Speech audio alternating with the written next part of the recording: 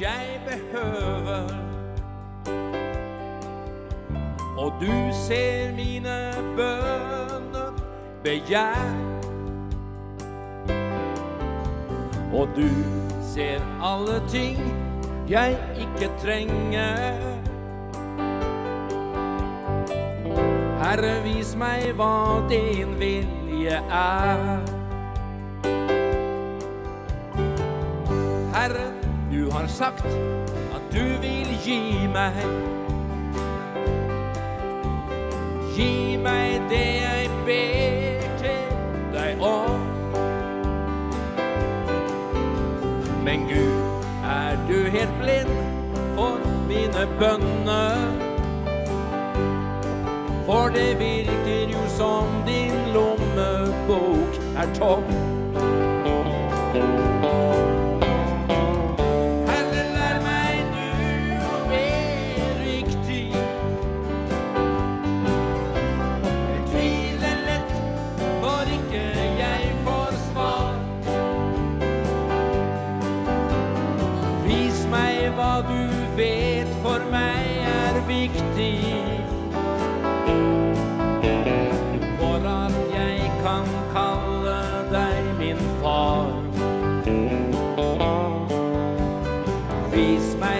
At et nei kan være svar.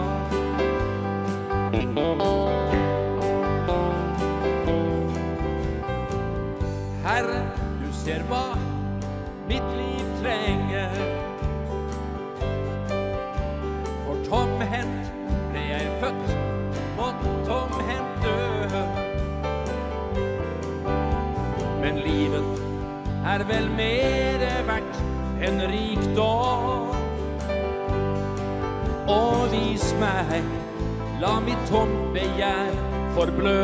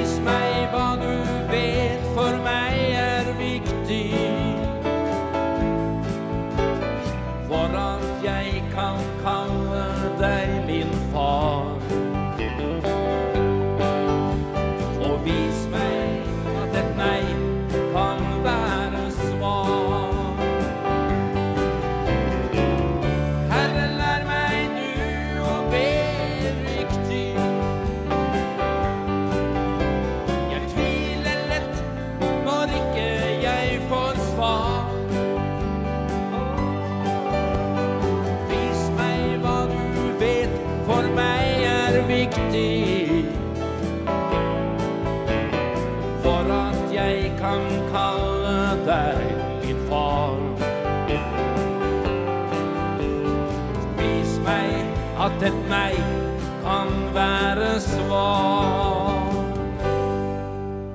For at jeg kan kalle deg min far.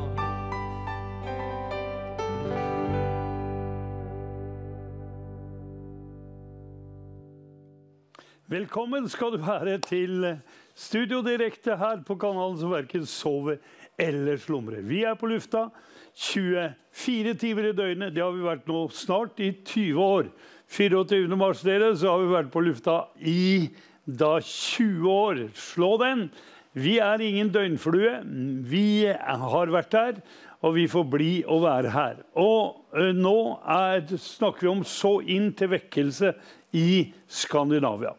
Og jeg tenker på det som Paulus sier her i første Korinterbrev, det niende kapittel og vers 7 så står det Hvem gjør vel noensinne krigstjeneste på egen lønning? Hvem planter ikke en vingård og eter ikke av dets frukt? Eller hvem eh, før en jord og eter, og eter ikke av jordens melk? Altså Det Herren sier her, det er det at eh, den som forkynner evangeliet, han er som i en krigstjeneste. Det er, vi er i krig mot Satan og hans ånde her. Eh, mot makter, mot myndigheter. For å spre da ut evangeliet, så møter vi motstand. Og da en soldat han driver ikke med alt mulig annet. Nei, han, får, han er opptatt av å krige. Og, for, og, jeg har hørt det en gang at for, å, for at én soldat skal være i striden, så trenger han 40 stykker som står bak han og hjelper ham med ammunisjon, mat, klær, sovepose, telt og alt tilbehør som en soldat trenger for å være da i krigen. Og så står det her at hvem planter vel en vingård uten å, å, å da spise eh, dets frukt? Eller hvem da har en jord og ikke drikker av jordens melk? Og så, står, så sier Paulus taler jeg dette bare på menneskelig vis? Sier ikke også loven dette? I Mos lov er det jo skrevet du skal ikke binde munnen til på en okse som tresker. Er det oksene som ligger Gud på hjertet? sier han. Eller sier han ikke dette bare for vår skyld? For vår skyld er det jo skrevet at den som pløyer, skal pløye med håp, og den som tresker, skal gjøre det med håp, for å få sin del. Og så sier han, har vi sådd da de åndelige goder til dere, eh, er det noe stort da om vi høster de timelige goder? Har andre slik rett over det, skulle ikke vi meget mer ha det, men denne rett har vi ikke eh, brukt, så vi tåler alt for å ikke legge noen hindring til for Kristi evangelie. Og så sier han, vet dere ikke at de som eh, gjør tjeneste i tempelet, får sin føde av tempelet, og de som tjener ved alteret, får sin del av alteret?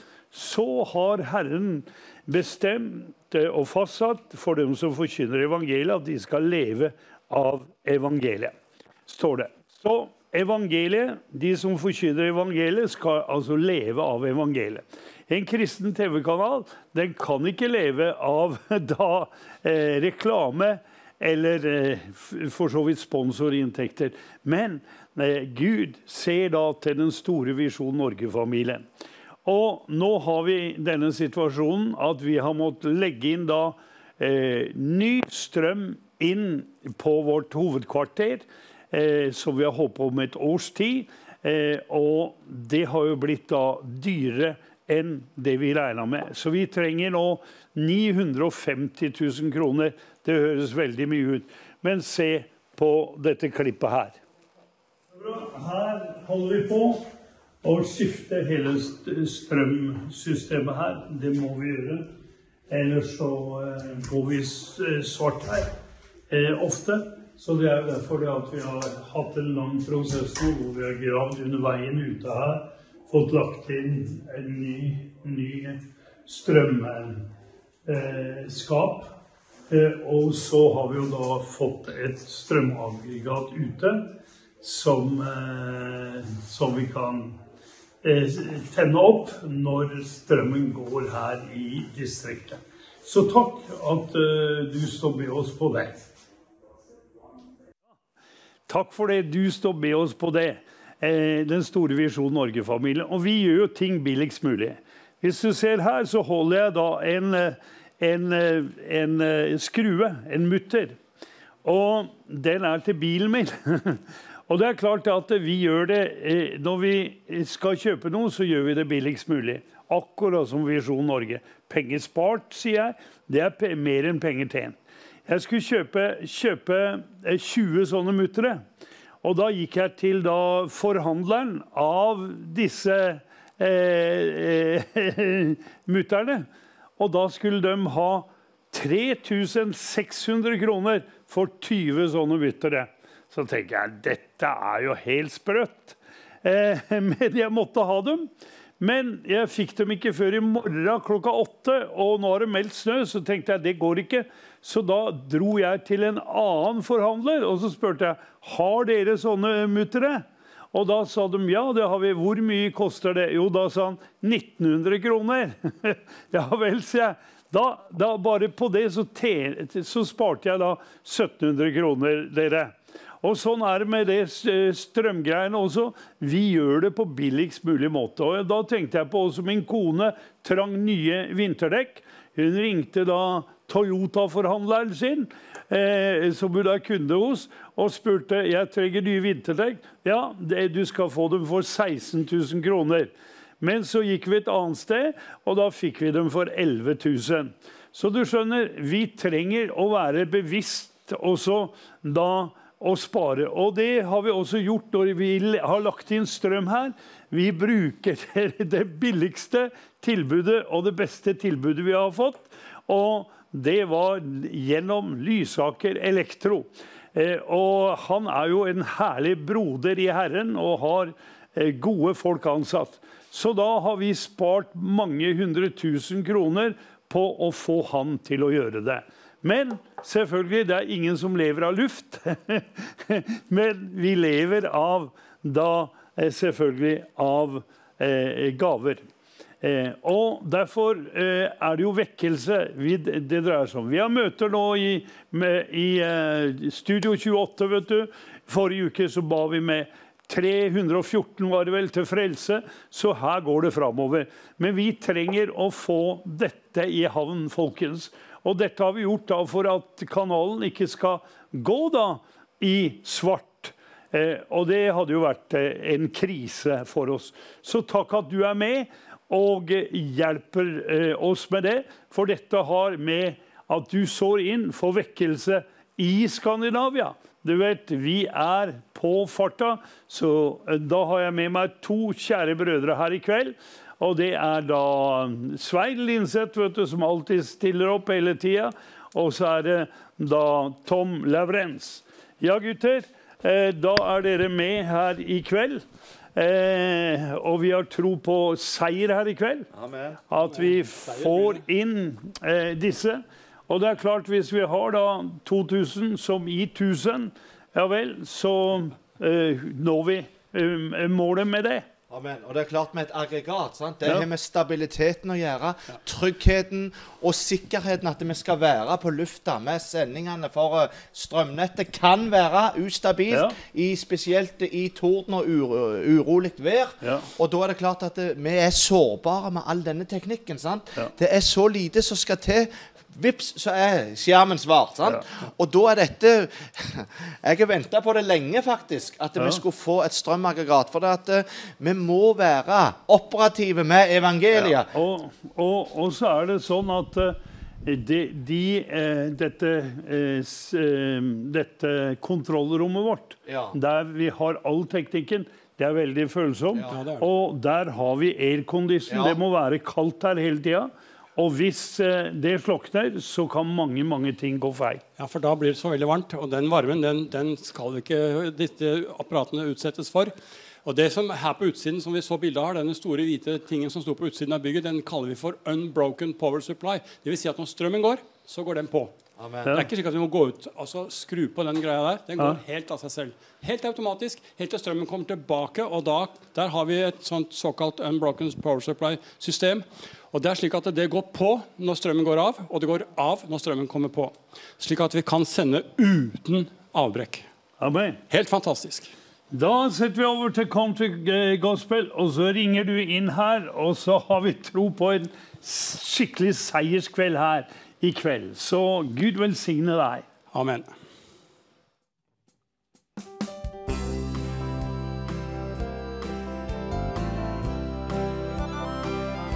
Det fins et hjerte som for deg ømmar. Du arme fånge i syndens band Det fins et øga som ivrig spanar just efter barnet i fjärran land det fins et øra som sig som hører den arme som hjelper begär Det fins en tunga som talar ljuvligt med den elende som sorgsen är.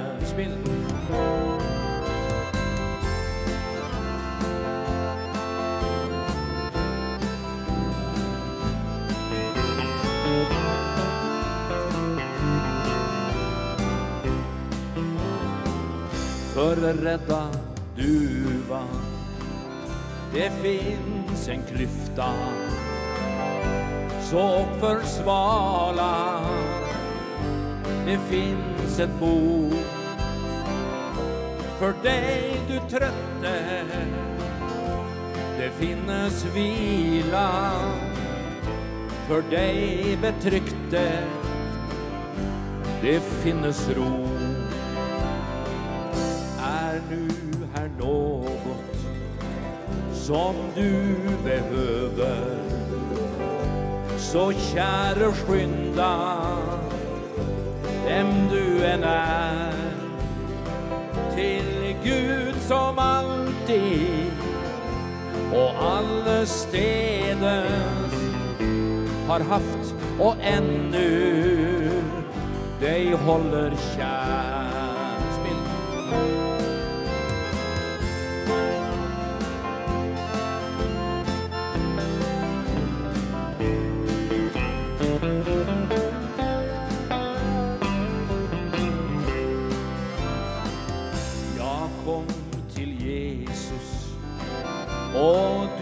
Skal finna hva du behøver til salighet.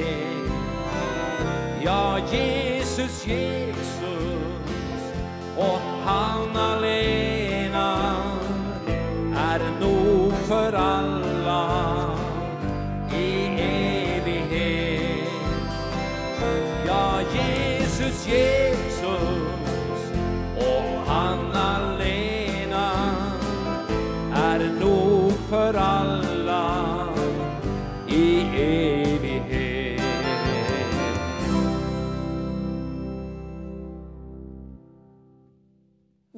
og da vil jeg også ønske deg hjertelig velkommen til en ny studio direktesending her på Visjon Norge. Og mitt navn er Astrid Weber Glein Laurens, for den som ikke vet det. Og jeg skal altså lede deg gjennom denne kvelden. Vi åpnet med en fantastisk sang. Det fins et hjerte som for deg ømmas, du arme fange i syndens land. Det fins et øye som ivrig ser just dette barnet i fremmed land. Er det ikke fantastisk med Visjon Norge? Den når inn i enhver husstand, i biler og på alle TV-skjermer overalt i Skandinavia. Og jeg er så glad for at jeg har med meg to skjønne guttemenner fra Moria menighet, min egen menighet i Grimstad. Og de har vært sånn i fjerran land. Og så har Jesus, den gode hyrde, kommet og funnet dem og forvandlet livet deres. Så i kveld altså skal du få møte Trond Johnsen og Stian Kristiansen. Trond han forteller om sin barndom, en grassat, grusom bilulykke. Så kommer han inn på alfakurs, og så er det flere mennesker som Gud bruker på hans vandring til et seirende liv. Nå er han ute som misjonær, som evangelist, er forbedrer i Moria menighet. Gud har forandret hans liv. Og så er det da Stian Kristiansen.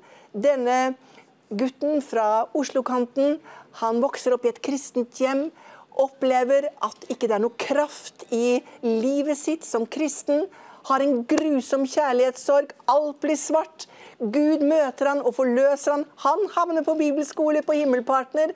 Blir en forløst, nydelig gutt som også reiser ut på misjonsmarken. Dette her er stories, dere. Fra grusomhet, fra tomhet, fra rus, fra angst, fra hjertesorg og til et sprell levende liv med Jesus Kristus. Du skal altså få møte disse to, men aller først så skal du få ta en titt på en lite, et lite innslag vi har. Du skjønner, Vi har en finsk sangevangelist som heter Jussi, som har vært her i noen uker. og Han har med seg et team, og i Møllergata 28 har det vært vekkelsesmøter, det har vært gateevangelisering i Oslo. Og det er så mye som fortsatt skal skje fra og med i morgen og til og med søndag. Ta en titt på dette innslaget. This is Evangelist Jussi, and I want to invite you to revival meetings in Møllergata 28 on Thursday, Saturday, and Sunday in Oslo. It's so easy to come to this place. It's only 500 meters from Oslo Central Station. Come if you need healing in your body, if you need miracle in your life. We will pray for you and we will pray with you And of course, we will preach the Word of God and we will pray together. We are believing that God wants to move. So come to Møllergata Studio 28, Thursday, Saturday, and Sunday at 7 o'clock. See you there. Be blessed.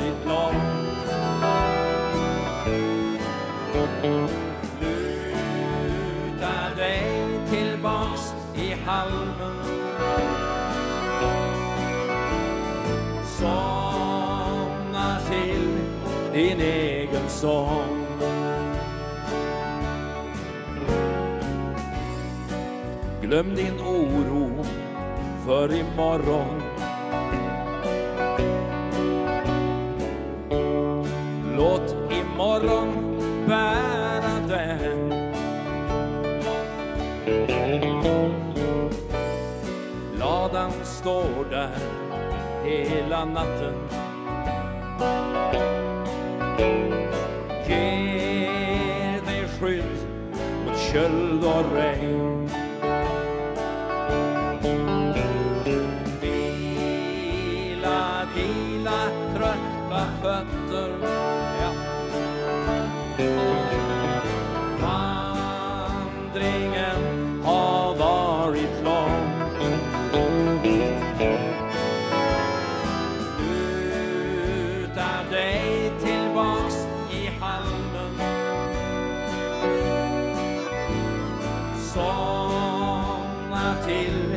din egen sång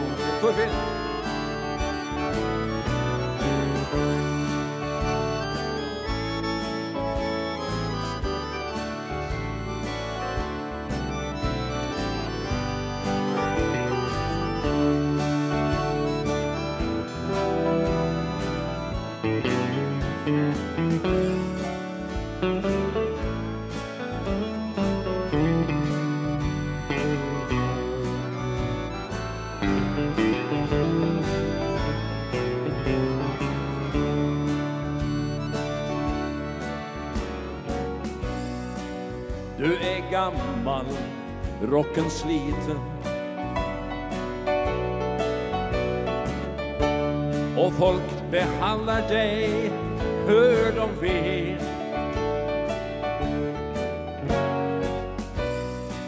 Men du är älskad mitt i skiten.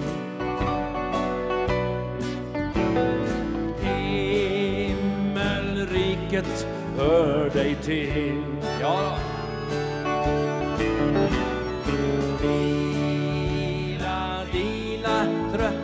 fötter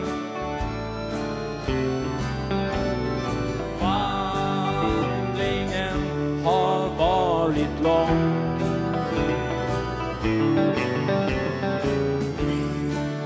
Utan dig tillbaks i halmen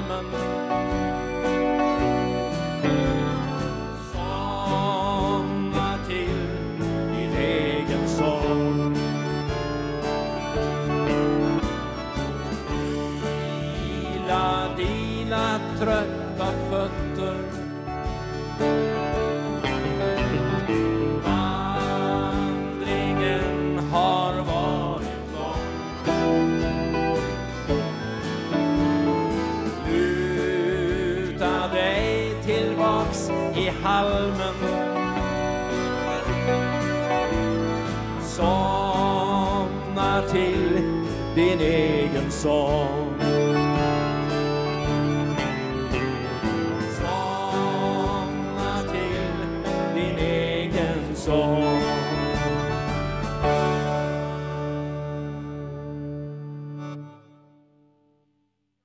Ja, da er det oss, Tom. Yes, her står vi, Svein, som vi pleier å gjøre. Ja.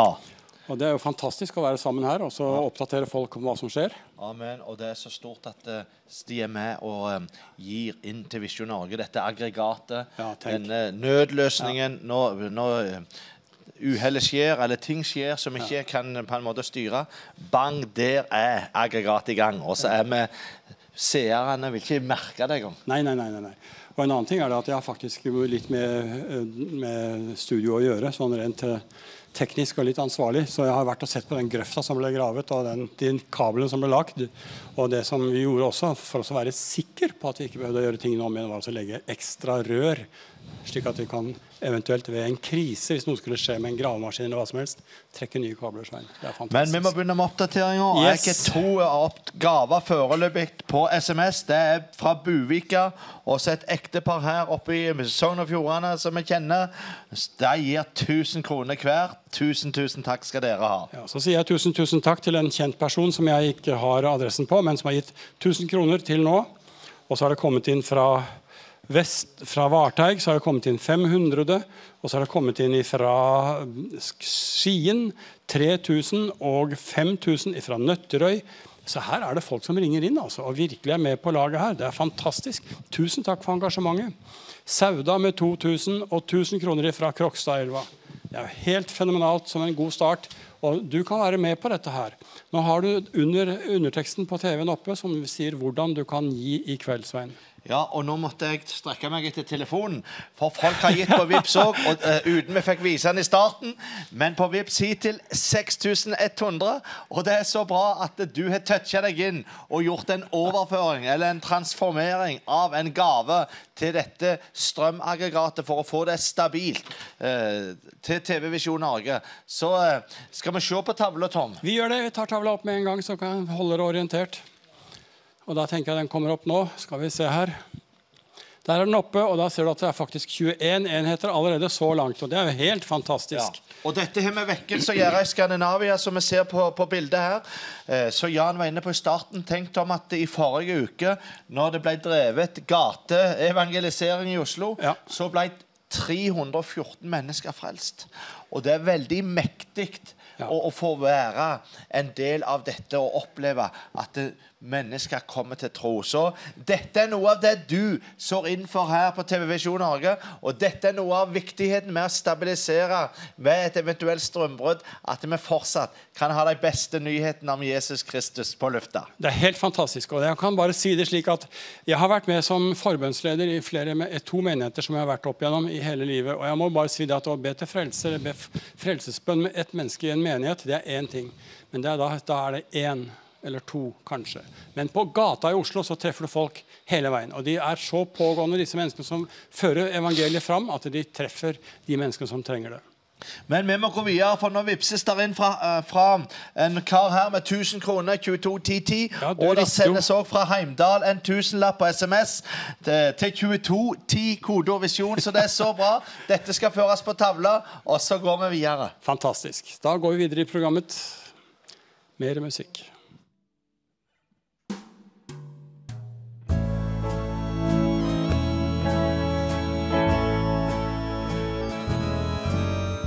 Vandret en mann i mot Golgata hen, og en krone av torner han bar. Han gikk der nedbøyet, forlatt av hver venn, og jeg spør, kan du si hvem han var? Ja, det Jesus, min venn hvit og rød. Han er min frelser i liv og i død. Og tenk hvilket offer han brakte for meg. Der på korset han ofrede seg.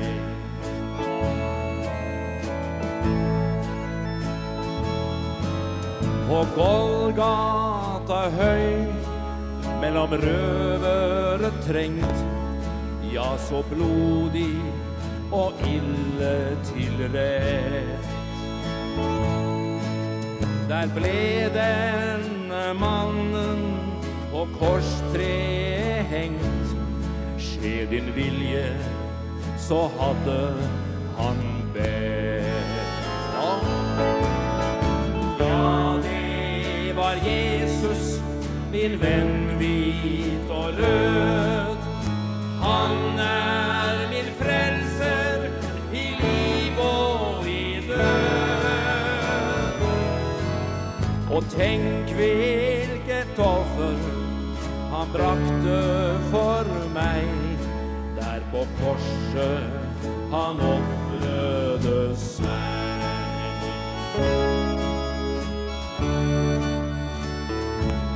Når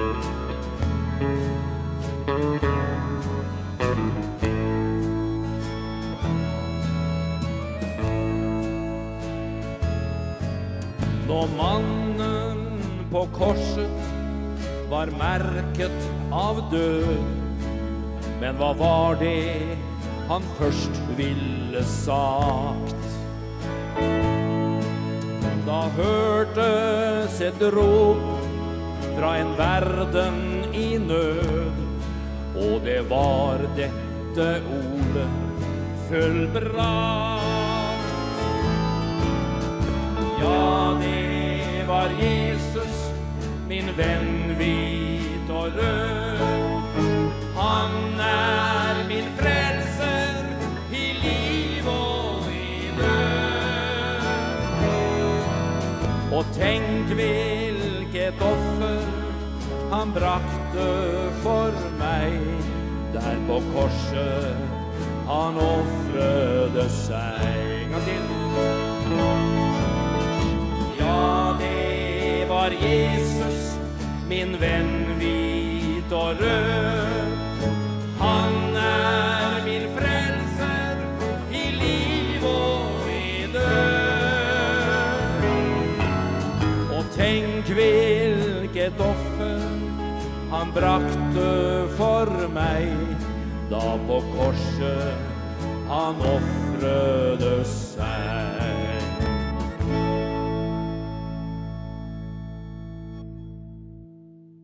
Ja, det var det, vet du. Tenk hvilket offer han brakte for meg.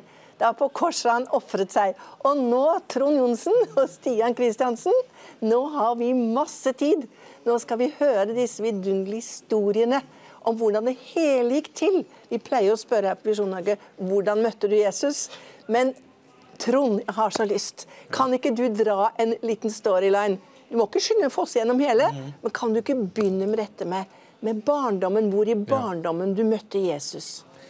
Ja, i barndommen så eh, Så vokste jeg opp med søndagsskolen, da. Eh, Da var jeg bitte liten eh, gutt på tre, fire, fem år. Og da var jeg jo nabo med deg også, så da hadde vi møte hjemme hos deg og på Randviga Storesand. Og så litt senere så går vi på Yngstus, Yngres og FMU. Ja. For å ta det kort. Men akkurat dette at du fikk møte Jesus, så han ble din personlige frelser. Ja. Hvor, hvor i storylinen skjedde det? Hvor, hvor i livet skjedde det egentlig? Da var jeg fem-seks år gammel. Var det det? Da tok jeg imot Jesus som er herre i mitt liv. Og det kan du huske? Ja, det husker jeg veldig godt. Hva var omstendighetene rundt det da? Var du alene på rommet ditt? Var du Nei, det var sammen med pappa. Ja. Vi bar sammen. Ja. Så Jeg husker det veldig godt. Ja. Ja. ja, jeg kjenner faren din, en god mann. Jenta som mammaen din. Ja. Så sterkt det var. Men så, så, så skjer det på et tidspunkt Jeg har Ja. så lyst til at du skal si litt om denne forferdelige bilulykken. ja. Du kan si Jeg gikk jo på FMU da, i Ja. Mm. tenårene der. Og så øh, fylte jeg 18 år, og så kjørte jeg bil, og så var det en gutt som sykla sikksakk på høyre side i vei og skulder. da. Mm. Så for å unngå han, så kjører jeg venstre kjørebane. Helt til sida av venstre kjørebane òg. Og så plutselig, ut av det blå, så kjører han over min veibane for å treffe min bil. Og, og denne gutten dør etter hvert. Nei. Så mitt liv går i tusen knas. Jeg var uskyldig, takk og lov. men, men jeg besøkte foreldrene, jeg var i minnestunden hans, men jeg, jeg gikk i tusen knas. Fikk posttraumatisk stressyndrom, angst Ja. osv. Så det var rett og slett en forferdelig historie. Ja. Og det forandra livet mitt totalt. For da hadde jeg levd av fire kristenliv, Mm. veldig bevart og fint. Men så kom mørket inn i livet mitt. Jeg blei helt tatt på senga og havna i rus også. Mm. Angst, rus og depresjon. Og det varte noen år. Ja, det varte en god stund noen år. Mm. Men så takk og lov, så var det en som sa For jeg var tømrer den gangen. Var du tømrer? Eh, Ja, i dette mørket var jeg tømrer. Wow. Ja. Ja. Og da var det en som sa 'bli med på alfakurs'. Ja, jeg er jo kristen, da! Ja. Men Ikke sant? Halleluja. Og så var jeg der på møter i Arendal, Philadelphia, og jeg ble satt fri fra rusen. Jeg ble satt fri fra depresjonen. I Jesu navn. Gjorde du det, Ja. altså? På et alfakurs er jo egentlig veldig sånn skjematisk ja. og punkt for punkt, Ja. men likevel Ja, så var Guds kraft der. Ja, Guds kraft var til stede. Og ø, Vi var jo på et, noen møter etter dette Ja. og da fortalte de om Jesu blod. Og Jeg satt der. Jeg har jo ikke noe rent blod! Og, og så bare ble jeg løst i Jesu navn fra rus og depresjon. Halleluja. Men så er det jo noen etterdønninger. Ja. Så jeg hadde jo fremdeles angst. Mm. Men så kom himmelpartner inn i livet mitt, og Moria. ja. Og da var jeg med på bønnefastedager. De som ikke aner hva dette Himmelpartner Det er og min er, hva er Himmelpartner? Himmelpartner er en misjonorganisasjon som eh, reiser rundt i, rundt i verden, og i Norge for øvrig. Og lederen for den er Og eh, det er Inger Øysland, min pastor, som er Ja. pastor i Moria menighet. Ja, der Så vi det- alle tre ja. går. Det er derfor vi er så glade her rundt bordet. Ja. Og så det som er greia, det var det at jeg var med på bønnefastedager. Og så sa jeg til Jesus Kan du en gang for alle fjerne all min angst? Så går det tre dager, våkner opp, tar telefonen for første gang på mange år. Kjører bil med en gang, rett opp på butikken, hilser på folk. Oi, halleluja! Jeg har ikke angst lenger! Jeg fikk bønnesvar! Cirka hvor gammel var du der da? Ja, det, det, det her er jo ja, fire-fem år siden. Fire, år siden. Ja. Og da ble vi satt i brann og ville tjene Herren. Så da kommer vi jo egentlig nesten inn i nåtiden, og det er jo bibelskolen. Fantastisk. Der skal vi stoppe deg, for nå må vi henge med. Stian Kristiansen. Du er, jeg sa Oslo-gutt, men det er Ås. Det er oss, det er riktig. Ja. Du har jeg forstått vokste opp i et kristent hjem. Ja. Eh, dere var Smiths venner i familien der. ja. Og hva var det som egentlig skjedde fra den ungdomstiden som du var med i Smith, Sven osv.? Hvor, hvor på veien fikk du et radikalt møte med Jesus? Hva var det som skjedde? Eh, ja, hva som skjedde? Det, når jeg fikk et radikalt møte med Jesus, var eh, at jeg var eh, i så kjærlighetssorg. Jeg hadde hatt kjærlighetssorg i fem år. Jeg, og jeg, had, jeg holdt det veldig skjult. Det var, det var en, eh, en kvinne som jeg elsket, og hun elsket meg òg, men av omstendigheter så valgte hun å gifte seg med en annen, og jeg ble så sønderknust. Eh, og jeg, i første åra så var det veldig mørkt. Eh, og så kom jeg på en måte meg opp, men jeg falt. Jeg følte hele tiden jeg falt. Jeg falt jeg, i, altså, I mørket? i mørket. Altså, jeg snubla liksom hele tiden. Den kjærlighetssorgen innhenta meg alltid. Jeg klarte aldri å bli fri fra den. Uansett. Så jeg tenkte også at uh, det her er noe jeg bare må leve med. Jeg, jeg orka ikke Jeg husker jeg data med noen kvinner, men hver, det eneste som skjedde når jeg gjorde det, var at jeg tenkte på henne som jeg, Som du som, som jeg elsket. Ja. Så jeg ble aldri satt fri fra det her. Og, og til slutt så bare var jeg så eh, knust. Jeg husker eh, Til slutt så jeg, jeg tror jeg hadde vært på eh, på et møte i, i menigheten i Moss, når jeg bodde i Moss da. Eh, og, det er vel i Matteus 11,28 hvor det står eh, Kom til meg, alle dere som bærer tunge byrder, og jeg vil gi dere hvile. Ja. Eh, og da husker jeg jeg lå i senga og gråt, for jeg, jeg, jeg klarte ikke mer. Jeg, og så sa jeg bare til Jesus Jesus, ta min smerte på deg. Og jeg, jeg vet ikke hvor mange ganger jeg trodde på det, men i hvert fall i det samme øyeblikket så var det akkurat som det, det ble løfta opp en sekk med, eh, med tunge byrder, steiner, jeg vet ikke hva jeg skal si, Fantastiske vitnesbyrd på begge to.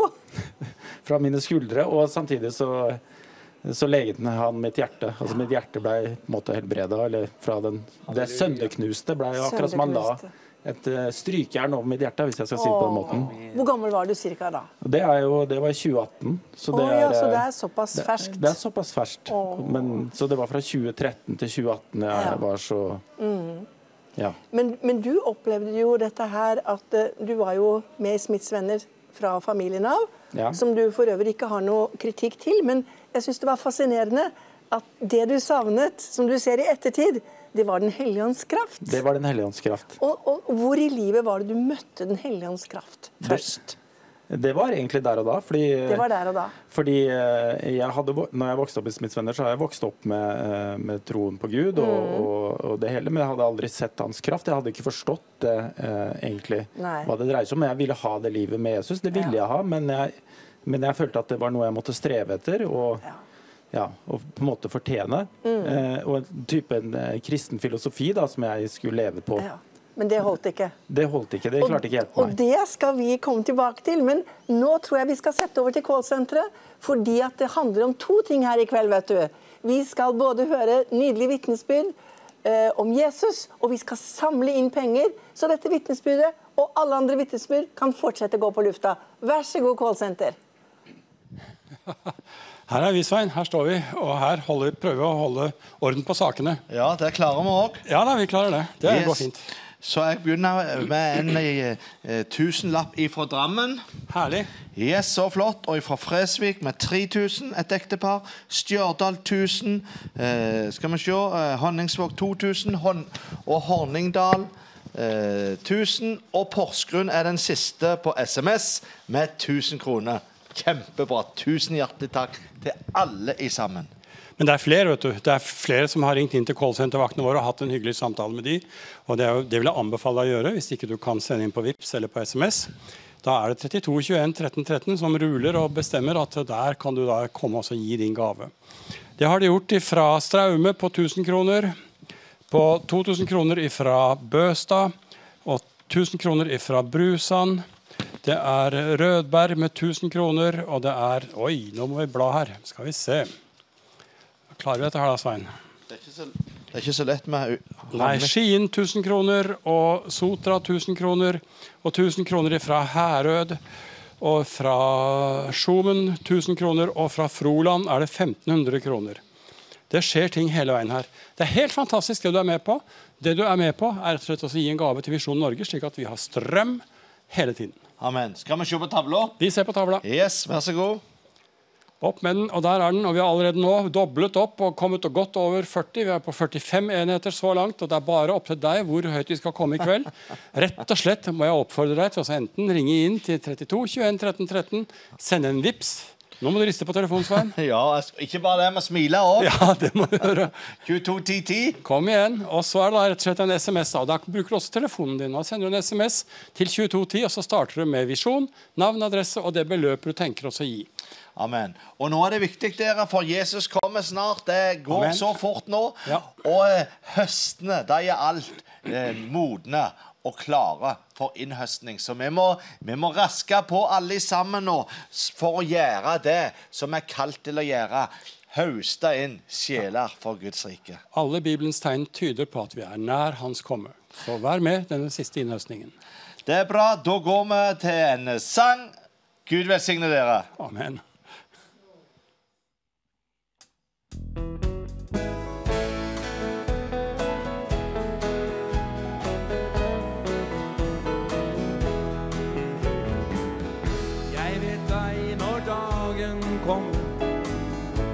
Mitt liv er slutt. Og så min kropp for alltid ligger i en grav, mørk og støt. Da er jeg trygt forvisset om at Jesus henter meg. Så jeg får møte Herren i den nye Jerusalem.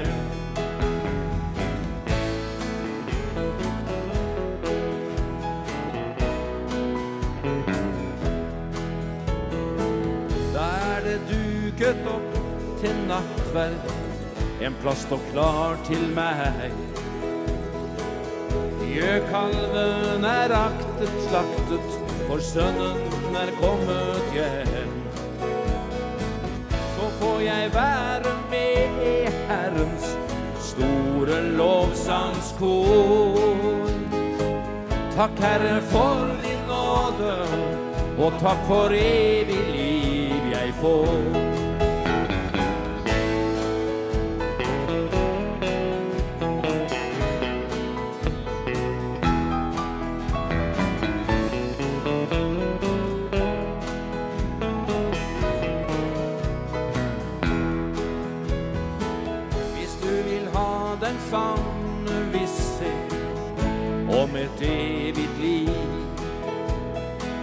Bøy ditt hode og si til Jesus, tilgi meg all min synd.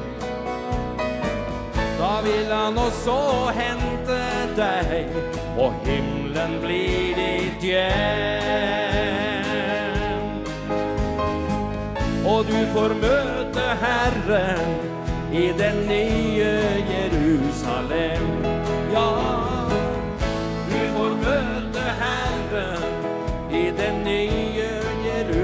Jerusalem. Ja, du får møte Herren i det nye Jerusalem.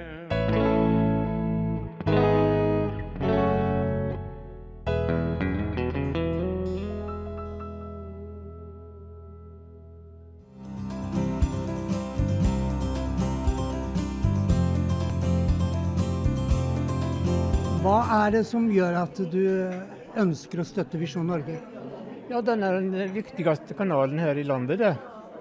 Som kan rekke i hele, hele landet og vel så det, med det gode budskap. Så det er jammen det som er mest nødvendig nå for tida. Og det er helt sikkert. Jeg, jeg ser at uh, bygdefolket er veldig begeistra. Er det forskjellige ting som du setter veldig pris på? Ja, det er noe Det er budskapet som kommer i vi- at folk må bli frelste og komme i, i forbindelse med Jesus. Det er det viktigste som er da, vet du nå. Ja. Så ser du jo hjelpeapparatet som Visjon Norge Ja, driver ja, det er veldig bra. Det er, det er veldig bra, ja. ja. Det er det. Det Hva vil du si til slutt for folket? Til folket vil jeg si at de må våkne opp. I denne, I denne tida her så er det viktig at, eh, at vi vender oss til, til Gud. For nå er det vanskelige tider når, når eh, myndighetene vil nesten avkristne landet. Så er det veldig viktig at vi er et lys og et eh, salt som kan eh, Ja, så lyser i ved landet vårt. Det er sikkert.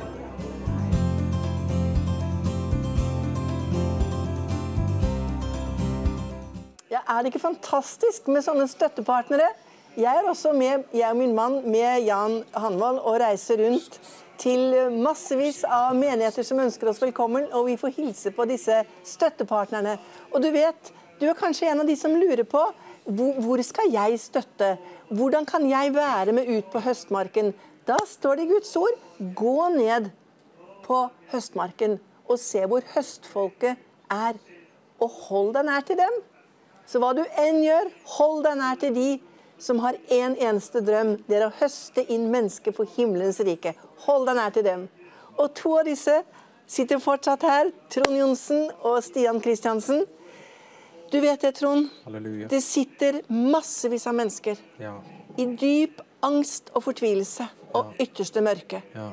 Kan ikke du ta opp tråden fra denne angsten og fortvilelsen Ja. og beskrive hvordan hadde du det egentlig? Ja, altså Rett etter bilulykka Etter bilulykka. Ja, så lå jeg tre måneder under dyna. Og, og, og, og prøvde å kave meg opp igjen på skolebenken og sånn, og begynte å, å fortsette som tømrer. Men på fritiden så var jeg innelåst 24 timer i døgnet. Var bare, gikk, orka ikke gå sammen med noen. Jeg hadde en kjæreste på den tida, så jeg gikk sammen med henne. da. Men jeg orka ingenting. Bare låste meg inne. For det var fortvilelsen Ja. og han som ble drept i den ulykken. Som du dog var uten Ja. skyld. Ja. Og det, det, det, da, angsten ble bare større og større og større, og mørkere og mørkere. mørkere, mørkere. Men da, vet du, Trond, da Ja. er det der det kommer inn dette Guds ordet som sier at, at vi kan hjelpe andre Ja. med samme trøst Ja. som vi har fått av Gud. Ja. Kan ikke du tale til folk der ute nå, som sliter med angst, og Ja. gi, dem en, gi dem en forbønn, en oppskrift? Hva skal de gjøre? Ja, jeg må bare si det at er du i mørket, har du angst. Alt er mulig for Jesus Kristus. Han har satt meg fri fra denne angsten. Han har satt meg fri fra denne rusen. Han har satt meg fri fra denne depresjonen. Han har til og med satt meg fri fra røyken. Jeg røykte før. Halleluja. Ta imot Jesus i kveld. Halleluja. Fantastisk, Trond. Og du har noe lignende, da. Selv om ikke du har helt samme historie, så syns jeg din historie er sterk, Stian, med dette her at det var ikke religion. Det var ikke filosofi, men det var kraften som forvandlet ditt hjerte. Amen. Ja. Fortell litt om hva denne Helligånds kraft har forvandlet deg og ført deg til. Altså det har ført, ført meg til altså der jeg er i dag, at jeg elsker Jesus. Og fordi jeg, eh, Før det så kunne man jo kanskje tro at eh, ja, det er noe jeg må tro på, kanskje tro på, eller det er det riktige å tro på. Ja. Men eh, det blei levende for meg. Mm. Eh, jeg forsto at han faktisk var virkelig, at det var, og at det var noe mer enn Ja. eh, vi kunne fatte og begripe det, egentlig. Ja. Eh, og jeg fikk et levende liv, da. Eller det lever på innsiden av meg, for å si det Ja. sånn. Men så, så var du ingeniør, Ja. og så får du et kall. Ja, det, er, det- det er helt ubeskrivelig. Du havner plutselig i Grimstad på bibelskole. Hva, hva, hva skjedde rundt det? Eh, det som var, var at eh, jeg, jeg jobba jo full, fulltid som ingeniør, og, eh, og så satt jeg og så på eh, fra kampanje, eh, teltkampanje i Arebygder med Himmelpartner. Og så Ja. han Vidar eh, Rød, han rektoren på skolen, han Ja. eh, hadde da reklamerte for bibelskolen, og det bare traff meg i hjertet. Og så hørte jeg bare 'Stian, her skal du gå'. Ja. Og det var en, ganske drastisk å bare flytte iallfall tre timers bilkjøring og Det, ja, det, jeg, hadde, jeg hadde ikke noe lyst til å gå der. Jeg hadde ingen planer om å gå på bibelskole. Jeg hadde ikke Nei. tenkt på det. Ikke, ja, det, var, det var helt fjernt fra meg. Men eh, jeg kjente bare eh, Nei, jeg må bare gå dit. Og mye tanker går jo i hodet når, man, eh, når det der skjer. At det livet man har, man skal forlate det. Eller ja, hva tenker de andre? Hva mener de? Og, og datt, ditt og datt. Eh, så, så da ble det full tid på bibelskole i Grimstad. da var det et- Da bare bestemte jeg meg. Jeg skal. Og, Ja. og så løste så meldte meg på, og tok jeg alle problemene som kom da, etter hvert. Etter hvert. Det er, det er ganske lurt. Og, ja, det tror jeg var lurt, for hadde jeg starta med problemene, så er det ikke sikkert jeg hadde kommet fram på bibelskolen. Så Og du, Trond, Ja. hvordan i alle dager eh, Jeg syns det er veldig flott at du er litt opptatt av å fortelle om disse menneskene som har vært med å berøre livet ditt. Det er forskjellige mennesker Gud har brukt, forskjellige ting. Og, og hvordan i alle dager kom du i kontakt med både Moria menighet og Himmelpartner? Ja.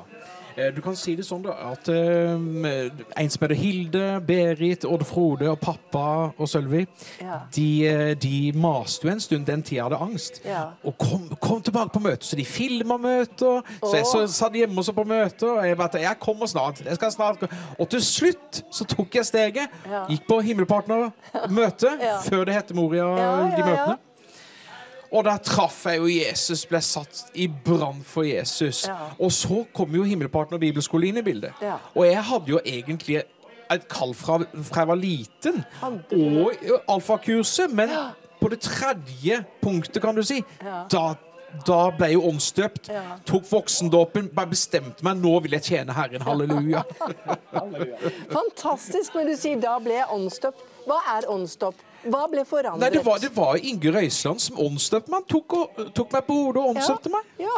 Ja, og, og, og det var han som døpte meg i vann også, i et basseng eh, på Randekleiv i Arendal. ja. Og da, da, da datt byrdene dine av? Ja, altså, da, Det var jo den tida angsten forsvant. Halleluja. Takket være Jesus. Ja. ja, så vidunderlig. Han setter altså mennesket fri. Ja. Og det er så stort at dere kan vitne med, for jeg tenker på de spedalske, vet du. Som ble helbredet, så var det bare én som kom tilbake og takket. Men her sitter dere rett og slett for å takke Ja. Jesus for, for hele Skandinavia. Ja, takk Ja. Jesus. Halleluja. Og så må jeg jo takke Inger Røiseland, min pastor. Ja. Og, og, og han Stian her er en klippe også. Han har jo hjulpet med i mitt liv. Ja, Han var en venn som ble skapt i nøden. Ja, og, og, og det, som er så, det som er så bra med han her, det er at vi traff hverandre på bibelskolen, vet du. Så vi har vært i Afrika, vi har vært eh, på misjonstur, og vi har vært inne i Halden og opplevd mange fine ting. Ja. Så der, der, derfor måtte jeg jo bare ha han med i kveld. Halleluja. Ja, ja, ja. Men det er, det er dette her, vet du, at eh, den, denne relasjonen som Ja. vi får med hverandre Ja. når vi elsker Jesus, det er bare helt uforklarlig. Ja, og jeg det. sitter og tenker sånn ser Guds rike ut. Halleluja. Sånn som i kveld. Dette er Guds rike, mine Takk damer og herrer. Er det ikke fantastisk? Men jeg tror vi skal stikke en tur innom callsenteret. Ja. Fordi at nå ringer de som gale her, og vi støtter dette strømaggregatet. Og så går vi på misjonsreiser etterpå. Ja, det gjør vi. Come on, callsenter! Ja, men det er bra, det. Og her skjer det ting. Jevnaker er med med 2000 på SMS. Det samme er Ålesund Tom, 2000 med SMS. Og den siste er fra Mosjøen, ei søster med 1000. Så bra at dere brenner for at vi skal kunne være på lufta òg nå når det er turbulent der i strømforsyninga, tilgangen på strøm osv., så, videre, så er vi på pletten med et aggregat. Priset være Herren. All ære til Jesus, selvfølgelig, men vi takker òg Visjonsfamilien for sjenerøsitet og villighet til å være med. Det er så hjerteflott. Det er jo fantastisk at vi har et sånt forsyn, at vi kan da faktisk ha dette strømaggregatet på plass før det blir trøbbel, eller Ja. kanskje før det blir problemer med strømleveransen, slik at du hjemme hos deg, som ikke har de problemene, kan få den strømmen og den den, den, det signalet gjennom TV-en din. Det er helt fantastisk. Og jeg er helt sikker på en annen ting, og det er det at den gleden som vises i studio, den smitter ut til dere der hjemme. Så nå dere, kan dere bare hive dere på og være med i denne gleden. Rett og slett ved å gi din gave til Visjon Norge i kveld. Amen. Da har det kommet inn fra Drammen 1000 kroner, og fra Skal vi se, hva står det? Strømskog? Står det det? Rømskog. Rømskog. Rømskog. 500 kroner og 2000 1000, 1000 kroner, unnskyld, fra Sortland i Vesterålen, må det være. Og så er det fra Hurland.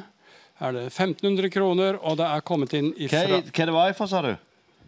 Hurland? Au- au- Aurland. Aurland. Unnskyld. Hvor er Huland? Skal du låne meg brillene mine, Tom? Ja, du, jeg, har, jeg må ta på meg briller. Takk for påminnelsen, Svein. Jeg kan gjøre det mens du rister på telefonen din etterpå. 500 kroner fra Skotterud, og fra Bærum er det kommet inn 2000 kroner. Veldig, veldig bra. Du må presentere tavla, så skal jeg gjøre et lite buks opp mens du får den fram. Fantastisk, og Da skal jeg ta på meg brillene for å se dette bedre. Og det er klart at Hvis man ser litt annerledes, så må man ta på seg briller. Tavla opp. Og Da ser vi at det er kommet inn 62 enheter så langt i dag. Og det er en liten forandring nå som Svein er på gang med å gjøre en liten endring på PC-en her. PC er det samme som en personlig computer, men det er det samme, det er samme som en datamaskin. da. Vi kaller det hva som helst. Ja, og det var flere grunner til jeg var ute av eh, bildet her, for jeg måtte ha tak i eh, inntektskilden på Vipps 221010. For eh, det er bare sånn at det går ikke innom min telefon for all del, men vi bruker denne eh, og kobler seg på. Eh, så hver en eh, programleder her bruker mobilen sin for å koble seg på skjermene her. Men alle må gi med VIPS over telefon. Eh, eller PC, selvfølgelig, men du, vi bruker telefonen Du må ikke riste på Miriam. Så 221010 er nummeret, og så er det bare til få av gårde gaven, sånn at vi får dette strømaggregatet på plass Yes. før vinterstormene Eller vi er snart ferdige med høsten, så det er vinter Ja, det som står om døra. Så vi må være i farta og aktive og brennende og beredt og på, på de stedene der så evangeliet skal forkynnes. Fantastisk. Vær med og gi, og da kan du gi til 221010 på VIPS. Du kan sende en SMS til 2210, visjon, navn, adresse og beløp du tenker deg. Eller du kan ringe til en av de fantastiske telefonvaktene våre, slik som disse andre her har gjort. Og da får du en prat med de, og så kan du da gi et beløp gjennom det. Amen. Det er 32 21 13 13. Ja, men da er det mer sang og musikk. Det er det. Og så gleder vi oss over at dette gjør vi i sammen, og vi gjør det på Jesus Kristus. Amen.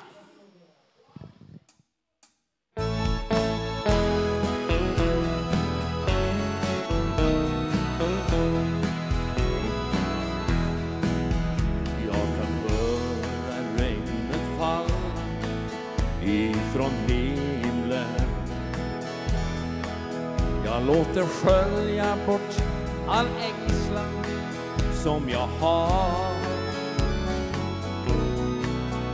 Låt mig se ett ljus som skingrar alla tvivel. Och aldrig mer ska mörka skuggor stanna kvar. Jag vill ge kärlek och min längtan varje dag jag ser en mening med mitt liv. Jag får ge dig min oro och min ängslan. Ja, hos dig så finner själen ro och frid.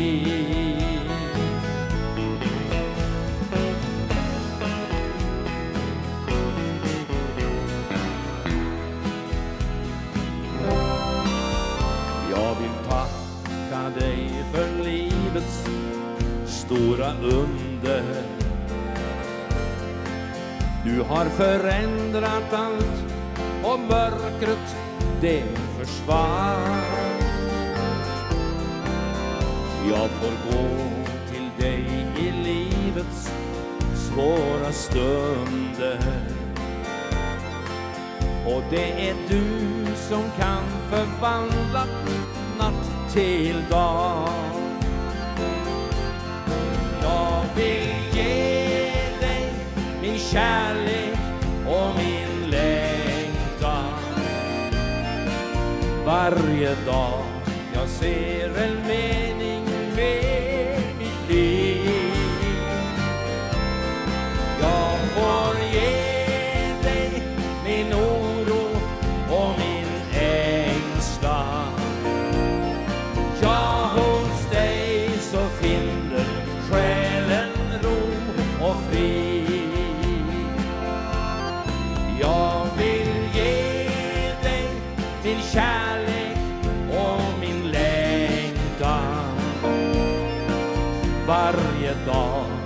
ser vel mening med mitt liv.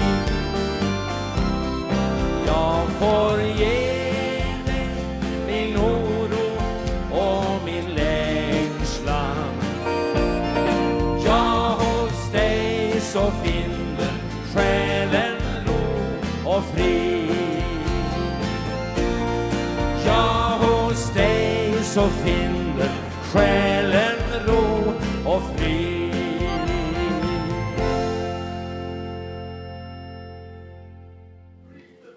Ja, Det var altså så vakker musikk fra Country Comfort. De har vært på Syng med flere ganger og kommer tilbake. Og det de synger her, det var så nydelig. De synger 'Jesus, jeg vil gi deg min lengtan'. Du som ser på i kveld, som har en lengsel i hjertet ditt etter kjærlighet, fred og trygghet hos Gud. Du skal vite, det er bare ett navn som er gitt under himmelen, som du kan bli frelst ved. Det er navnet Jesus Kristus. Jeg sitter fortsatt her med mine to kjære brødre. Trond Johnsen og Stian Kristiansen. For de som har zappet innpå akkurat nå, vet du, må jeg presentere dere igjen. Dere har da hatt en fantastisk storyline her frem til nå.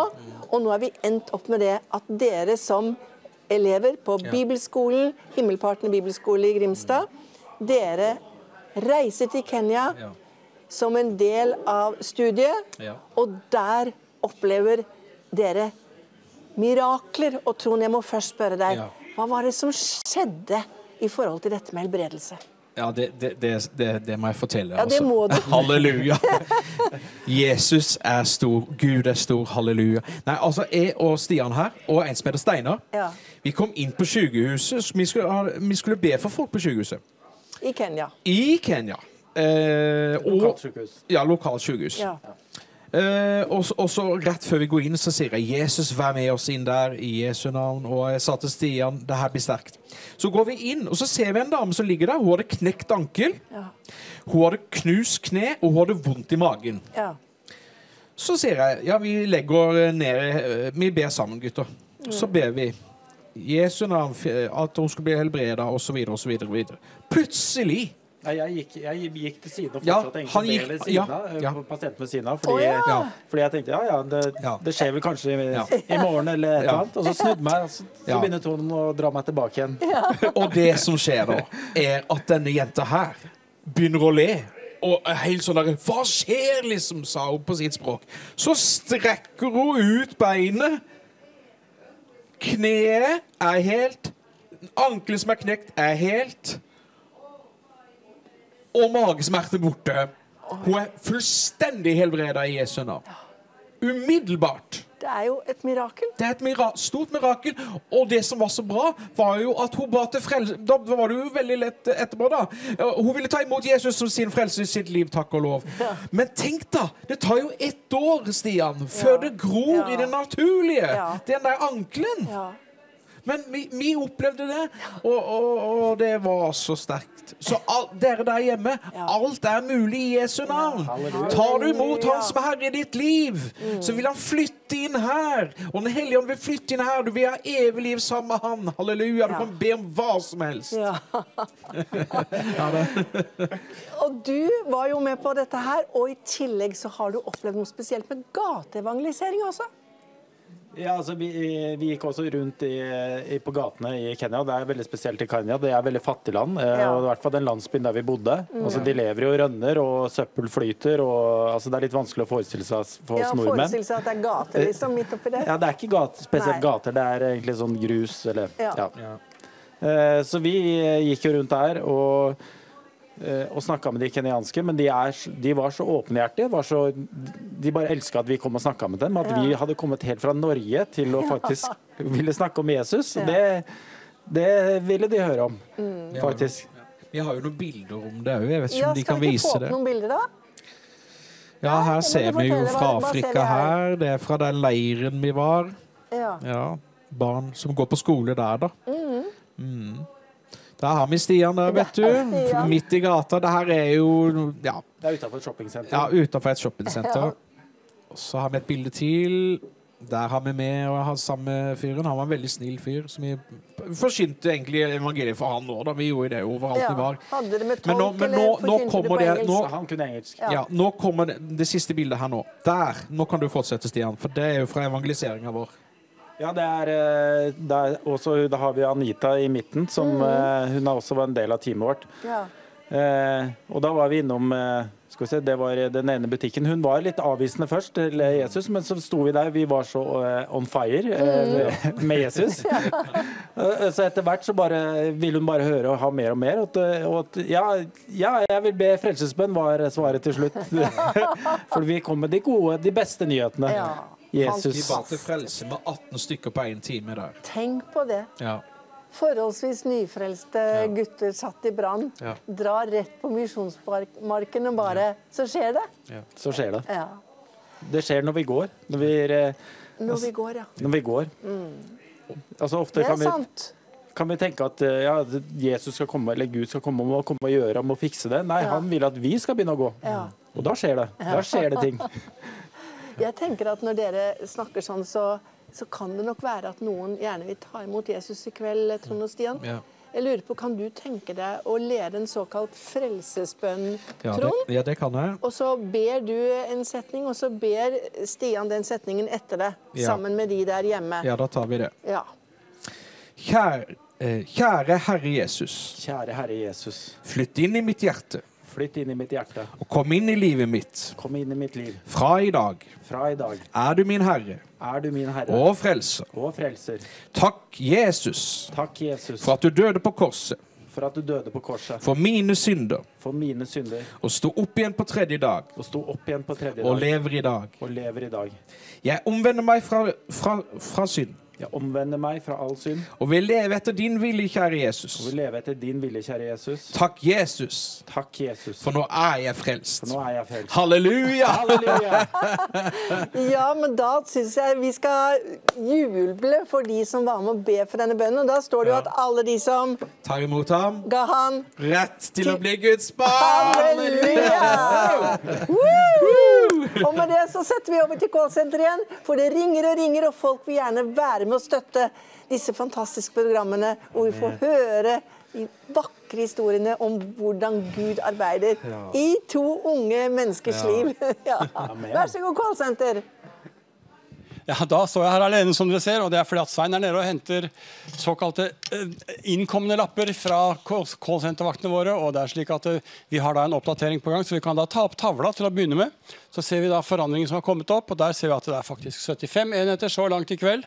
Og det er fantastisk at du er med på å gi din gave når vi hører alt det som skjer.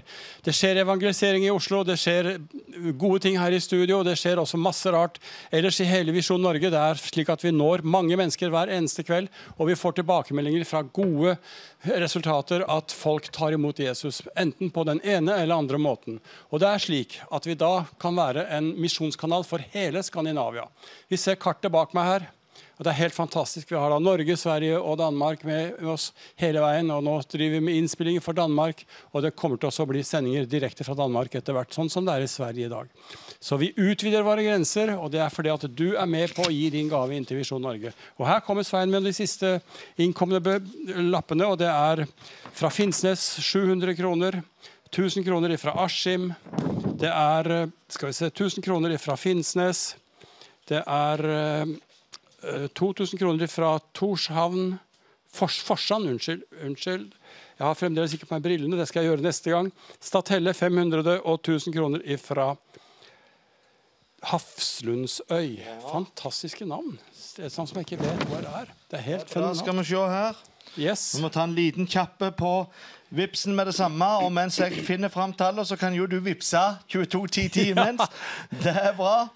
Yes.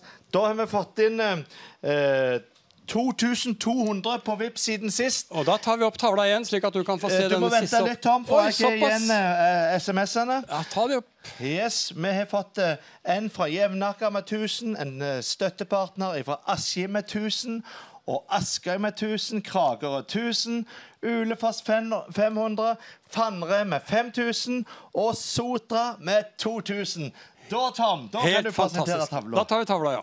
Og da kan vi si at det er en stor forandring siden sist den var oppe. og Det er 83 enheter så langt i kveld. Og det er fordi at du er med på å gi din gave inn til Visjon Norge nå i kveld. Vær med, send en vips til 221010, eller send en SMS til 2210, og da begynner du med visjon, navn, adresse, og så kan du ringe inn til telefonvaktene våre. Og så får vi et Ja. lite besøk bak oss her. Ja, altså det som er så viktig, det er uten eh, den indremisjon, så kan vi heller ikke drive ytremisjon. Og det er klart, når vi får bedt med da frelse med 314 stykker her på gata forrige uke, eh, ut ifra Studio 28 i Oslo, så er jo det veldig bra. Det er eh, så viktig. Eh, vi er desperate etter vekkelse Ja. i vårt land. Det Det er er, derfor vi holder på Ja, som som vi holder på med. Men evangeliet, det er gratis, men det koster å få det ut. Det koster å ha team ute i Oslo og evangelisere. Det koster å få Jussi hit og, og team her inn. Eh, alt koster. Eh, og det er selvfølgelig det høres kanskje mer åndelig ut å gi til Albania eller gi til de fattige Moldova. Vi fortsetter med det. Det er jo bare fantastisk hva vi gjør der. Eh, og dere i den store Visjon Norge-familien. Men hør her.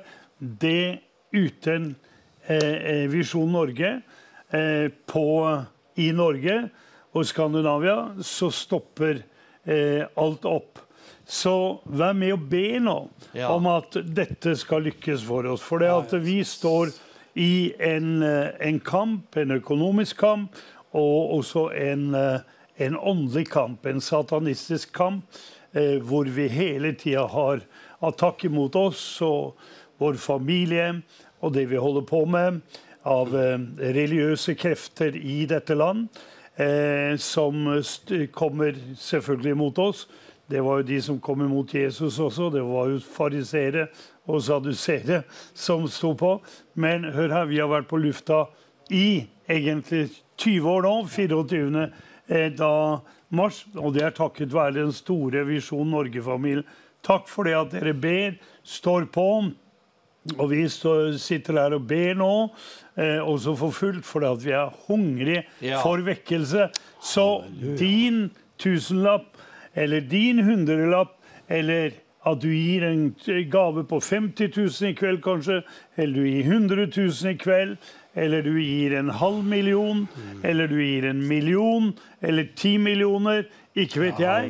Men det jeg vet, er at Jesus kommer snart. Ja. Og at hans budskap har hast. Amen. Halleluja. Så da vipser du bare inn, og så hører vi Country Go- Gospel nå. Og så hører vi fra deg. Amen. I Jesu navn. Amen. Vær så god, Country Gospel. Du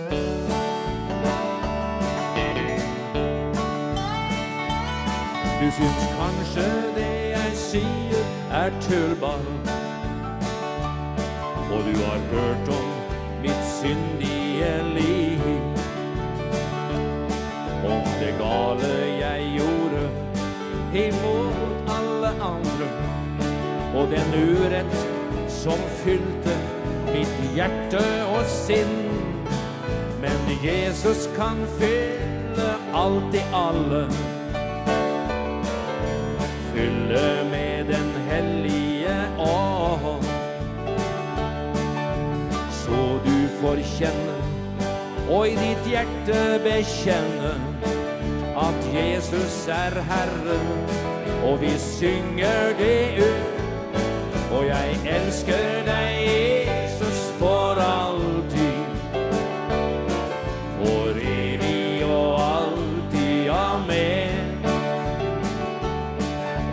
tok all min synd, og du renset mitt hjerte. Og mitt liv er forvandlet, ja, til evig tid. Jeg vil vie mitt liv til deg, Jesus. Ja da. Synge og vitne om deg.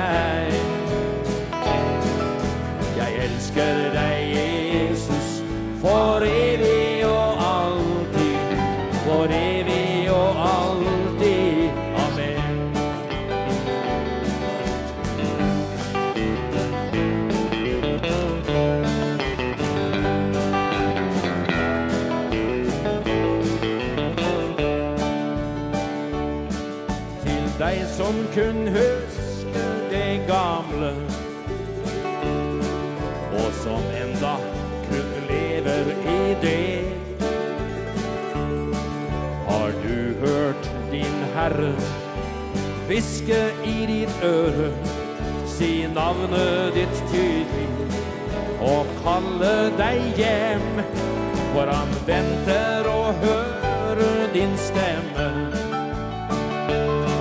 Din røst roper ut et klart ja. Og du i ditt hjerte får gleden og sangen om at Jesus er Herren. Og ja, vi synger det ut. Jeg elsker deg, Jesus, for alltid. For evig og alltid. Amen. Og og du renset mitt hjerte. Ja, mitt liv er forvandlet, og til evig tid. Jeg vil vie mitt liv til deg, Jesus.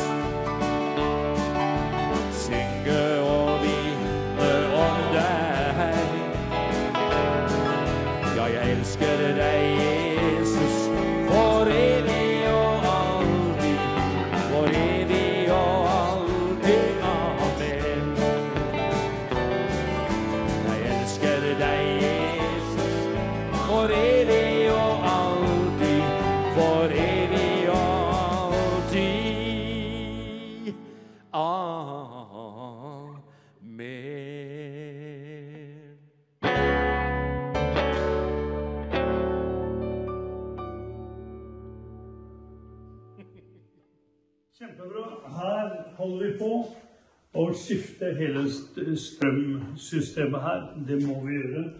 Ellers så eh, går vi eh, svart her eh, ofte. Så det er jo derfor det at vi har hatt en lang prosess nå hvor vi har gravd under veien ute her. Fått lagt inn en ny, ny strømskap. Eh, skap. Eh, og så har vi jo da fått et strømaggregat ute som, eh, som vi kan eh, tenne opp når strømmen går her i distriktet. Så takk at eh, du står med oss på vei. Det er fantastisk, må jeg bare si, å være med og støtte TV Visjon Norge. Fordi at det er Skandinavias største kristne TV-kanal med det gode budskapet om at Jesus Kristus døde for alle mennesker for å gi dem evig liv. Og blant de så er da Stian og Trond her. Vi har snakket litt om Kenya. Fantastisk å høre både om denne, dette miraklet. Jeg har aldri opplevd det, Trond. Aldri. Har du ikke? Nei, jeg har aldri Jo, jeg har opplevd det forresten. Han Roger Skau, Ja. er det ikke det han heter? Tror jeg gikk på Sarons dal. Han knakk armen. Ja. Og tok av gipsen og reiste og tok røntgen, Ja. og den var hel. Ja. Men siden det, det er jo 100 år siden. Ja. Så kjempesterkt det du forteller. Ja. Ja. Og jeg tenker litt på Det var jo mange som ble frelst bare av dere tre som gikk sammen i Kenya. Var det 18 stykker Ja. dere 18 ba stykker med? Når vi eh, var ute den ene ettermiddagen. Den på- ene ettermiddagen. Det var vel halvannen-to timer. Det var noe sånt vi var ute. Ja. Men til sammen hele gjengen på den turen, var det 50 Det var iallfall? mange. Bare på den, eh, de, den ettermiddagstimene vi var ute, så var det over 50 som, Ja. ble, som vi vet, som tok imot Jesus. Men det var jo mange andre som Ja. Men de, dere brenner altså for at mennesker skal få møte Jesus, enten det er Kenya eller Grimstad. Ja. Og det konseptet i Moria menighet eh, å gå ut på gatene Ja. hver onsdag. Ja. Eh, hvordan opplever du det, Trond? Nei, jeg er jo eh, Mitt kall er jo evangelisere evangelist, da. Ja, og Så du for- er jo i din hjemby. Og jeg er i min hjemby. Så jeg har jo holdt på med det her nå i fire og et halvt år, egentlig før bibelskolen òg. Jeg har vært med evangelisert i Ja. menigheten Moria. Ja.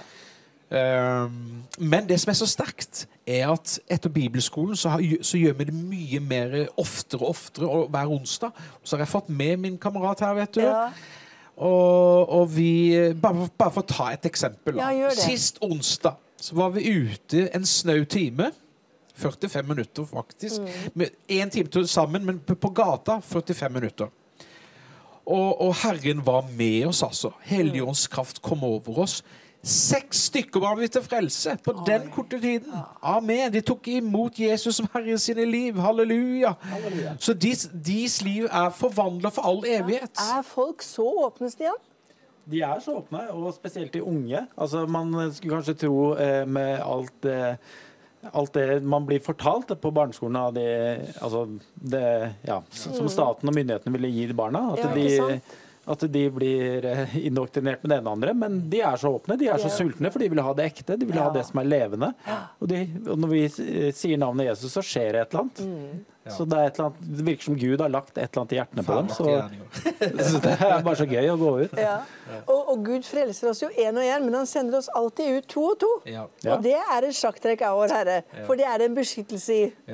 Og, og når vi er ute, vet du, så, så nå i det siste har vi begynt å bli litt drevne. Men jeg må jo si i Jesu navn, takk, Jesus, for det at vi prater jo annenhver setning. Ja. Ja, nå kan du liksom ta over og sånn. Det Ja. går på automatisk. Ja. Og det er all ære til Herren.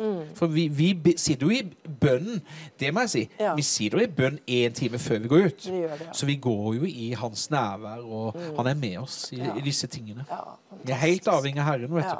du. Ja, det er altså så sterkt. Og du, Stian, du, du hadde helt skrekk for dette her eh, i det naturlige. Du var ikke typisk evangelist, holdt jeg på å si. Nei, altså ikke eh, Før jeg kom på bibelskolen, så når jeg kom ned der, så møtte jeg Trond, ble kjent med han. Med Ja. god venn. Eh, og han fortalte da at han har, vært og evangelisert i mange år, så jeg tenkte nei, det hørtes veldig skummelt ut. Mm. Ja. Eh, så, så det var ikke noe jeg hadde eh, sånn kjempelyst til å gjøre. Men eh, det er et eller annet som skjedde når jeg gikk på skolen, ble fylt med Guds ord. Så bare forsvant den frykten. Den ble bare borte. Fantastisk. Så jeg ble satt fri. Menneskefrykten den tok Jesus fra meg. Tenk på det. Fy- Fylt med Guds kjærlighet, vet Ja. du. Da, da forsvinner frykten. Og da har man bare lyst, til å gå ut og bare fortelle om Amen. hvor herlig Jesus er. Kjempesterkt. Ja. Og når det gjelder sånn gavemessig, det som du mest holdt jeg på å si, flyter i, det er lovsang. Jeg elsker lovsang. Ja, Eh, når startet du med det i livet, da? Eh, det er ikke så lenge siden, men eh, jeg har, alltid, jeg har alltid spilt og sunget. Eller jeg kom fra en, Min far har alltid spilt mye piano og sunget, så vi har alltid Mm. hatt veldig mye sangmusikk i mitt hjem. Mm. Så jeg har alltid vært glad i det. Men det var egentlig først jeg virkelig begynte med lovsang, var først faktisk når jeg kom på bibelskolen. Ja. At jeg tok det ordentlig opp. Jeg hadde eh, vært med på, eller jeg har øvd en del på eh, sammen med menigheten jeg går i Moss, på Østfoldkirken. Og der, er jo jeg går jo heldig. faktisk ikke i Moria, som du Nei, sa. men jeg må bare korrigere deg. ja, jeg må korrigere. Det var himmelpartner. Jeg var himmelpartner. Ja. Så, men det var først når jeg kom ned og fikk Og så begynte jeg å spille på, i skoletimene. eh, For vi har lovsang og tilbedelse Mm. Ja. hver, første timen hver dag på skolen. Eh, Så da er jeg og ei som heter Anne Mile, som har spilt mye sammen. Da, så, Ja, Og det er så herlig. Lovsang elsker jeg. fantastisk. Synge og, og prise Herren. Ja. Så det, det er en gave Gud har gitt deg, Ja, som du trives med. elsker det. Ja. Og du er jo forbeder i menigheten Moria, og det, Ja. det er et sterkt kall for deg. Ja, altså det er jo, det er jo to kall. Det er Mm. forkynne Guds ord og be for folk. Ja. Eh, være forbeder, da. Ja. Så grunnen til at jeg går på bibelskolen nå, er jo for å komme sterkere inn i eh, disse tingene med å forkynne Guds Ja. ord, da. Ja. Eh, men forbeder, det er jeg. Mm. Og all ære til Herren. Og så er du gateevangelist òg. Det er Ja. fantastisk. Ja. Alle plattformer. Alle plattformer. Ja. Ja, men du, kan ikke du dele noen ord eh, ja, jeg kan eh, dele et bi bibelvers her. Ja, gjør det. Ja. Hei der hjemme. Ja. Men Gud er rik på barmhjertighet. Fordi han elsket oss med så stor kjærlighet, gjorde han oss levende i Kristus. Vi som var døde på grunn av våre misgjerninger. Av nåde er det frelst. I Kristus Jesus har han reist oss opp fra døden. Sammen med ham og satt oss i himmelen sammen med ham. Slik vil han i de kommende tider vise over strømmende rik han er på nåde. Og hvor god han er imot oss i Jesus Kristus. For av nåde er det frelst ved tro. Det hviler ikke på gjerninger, for vi er Guds gaver.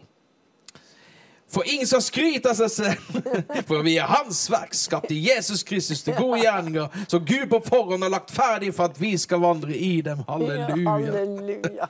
Så her sitter jeg bare og eh, er helt eh, imponert, Trond, over Gud. Eh, Hvordan altså du med angst og posttraumatisk stress Ja. og helt ute av alt, Ja. sitter her som et levende bevis på at Jesus setter fanger fri. Ja. Nei, for, for, for, for Hvis du da tenker på vintreet, vintreet, Johannes 15,1, Ja. så handler det om å være i ham. For der er kjærligheten, kraften og nåden. For jeg vil jo ikke gå ut av vintreet og vaske meg selv i egen kraft. Nei, jeg er inni der og blir helliggjort i vintreet sammen Ja. med Herren hver eneste dag. Halleluja. Så, jeg, så, så det er han som vasker. Ja. Fantastisk. Og du, Stian, du har et skrifter også som du vil dele. Ja, Det er eh, skriftet som, veldig, som, som hjalp meg når jeg ble satt fri fra, fra min sorg og min, min smerte fra mitt, og mitt sønderknuste hjerte. Det er Matteus 11, 28-30. Kom til meg, alle som strever og har tungt å bære, og jeg vil gi dere hvile. Ta mitt åk på dere og lær av meg, for jeg er nedbøyd og ydmyk av hjerte. Så skal dere finne hvile for deres sjeler, for mitt åk er gagnlig, og min byrde er lett. Ja. Og, og det var ord som ble levende for meg eh, når jeg ble satt fri. Og jeg er ingen spesiell, jeg er en helt vanlig gutt. Som, eh, og jeg hadde ikke sittet her i dag. Jeg, var, jeg er sikker på at jeg, hadde ikke levd hvis ikke jeg kunne Altså, jeg var helt, helt ødelagt, helt Helt knust. Takk, Jesus. Ja. Så, så det er bare Jesus som uh, kunne gjøre det Ja. og fikse det. Han var ute etter meg, den ene fortapte, Ja. som han etterjagde. Men du, Stian, la oss si at det er 150 000 som ser på Visjon Norge i kveld, f.eks. Kan ikke du rett inn i det kameraet si noen ord til de som bærer tunge byrder? Hva skal de gjøre? Ja, eh, eh, altså Når Jesus kunne gjøre det for meg, så kan han også gjøre det for deg. Eh, jeg, som jeg sa, jeg er ingen spesiell. Eh, for Jesus elsker ethvert menneske, og han sendte sin sønn, eh, Gud sendte sin sønn for at hver den som tror på han skal bli frelst. Altså alle som bare eh, sier navnet Jesus, han, han vil dem løfte opp. Så man ligger der nede, om man ligger hjemme i sin smerte, så er det å kalle på navnet Jesus. Ja. Eh, ja. Han vil, ta dere, og han vil, han vil gjøre, sette deg fri fra det som du bærer av de, de knuste hjerter, om det er, eh, om det er sorg, eller om det er eh, angst, eller hva som helst. Mm. Ja.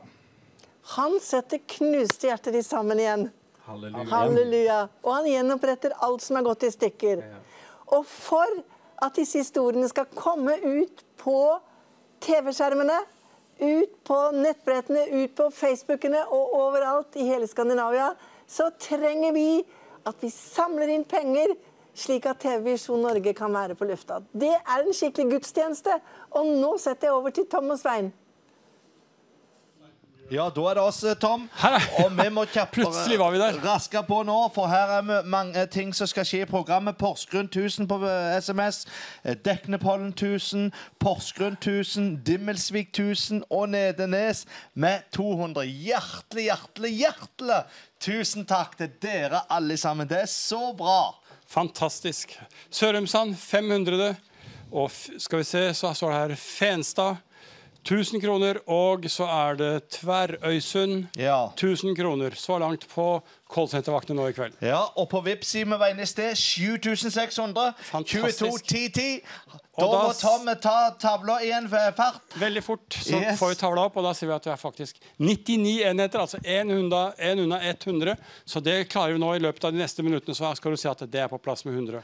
Det er bra, men nå får vi erstattere her. Vi må bare flytte oss her, ja.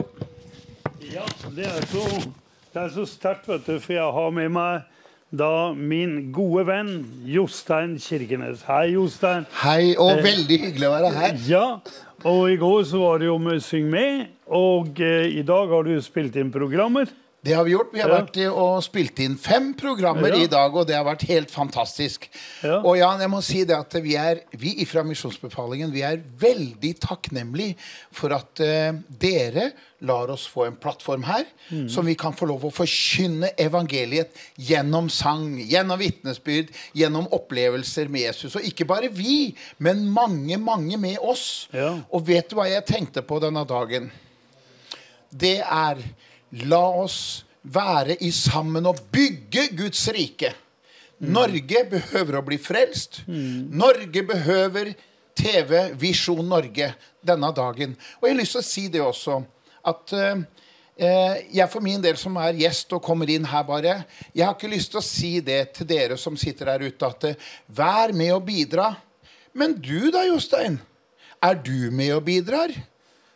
og gir inn når det er en innsamling til et spesielt behov som denne dagen, så vil jeg si ja, jeg også er med og bidrar. Jeg står ikke bare og synger og spiller, men jeg kan være med, jeg også. Gi litt. For den som gir, han får, sier Bibelen. Så det er helt fantastisk. Så kan vi være med, og være med og bidra hele, alle sammen. For vi behøver hverandre. Norge behøver å bli frelst. Og derfor er det fantastisk. Og jeg har bare lyst til å si til deg også, gjør sånn som jeg har gjort denne dagen. Vær med og vips inn på 221010. Det er liksom det eneste som jeg husker akkurat nå. Da. Det nummeret, Dere har jo flere, men vips nummer 221010. Og så er det med og bidrar, så de kan få hjelp. At det ikke skal være svarte skjermer, men at mange kan få lov å sende sine programmer gjennom TV Visjon Norge. Det er jo fantastisk. Og en dame sa til meg Ja. jeg snakka med henne her for, en dag, for noen få dager siden. Så sier hun til meg Jostein, jeg er så glad i Visjon Norge. Det var dem som jeg satt og hørte på, sa hun. Jeg gikk ikke på møter, men jeg satt hjemme og hørte på dem. Og så hadde jeg anledning når det var frelsesinnbydelse. Og da tok jeg imot Jesus. Og nå er jeg en kristen. Og nå sitter jeg og følger med på TV-sendingene, for jeg orker ikke å gå så mye rundt omkring. Men jeg sitter hjemme, og så opplever jeg Guds velsignelse. Og så kjenner jeg bare at jeg har et hjerte som banker for Visjon Norge. Det er jo fantastisk! Det er, ja, Det er jo dette vi lever for. Det er dette vi lever for, Jostein. Og jeg tenker på, nå har vi jo Syng med, som dere er med en gang i måneden. Og så har vi jo satt i gang da gammeldags vekkelsesmøter inne i Studio 28. Ja. Eh, hvordan, hvordan opplever du det? For det er et behov i, i Oslo og, og sånn? Ja. Du, jeg opplever det som fantastisk. Nå er det to ganger eh, som fra starten nå Ja. som vi har fått lov å være med på. Og jeg må bare si det at det er fantastisk at vi kan få lov å synge disse tidløse sangene, som Ja. vi sier. Ja. At vi kan få lov å spre det ut rundt omkring. At det når inn i de tusen hjem.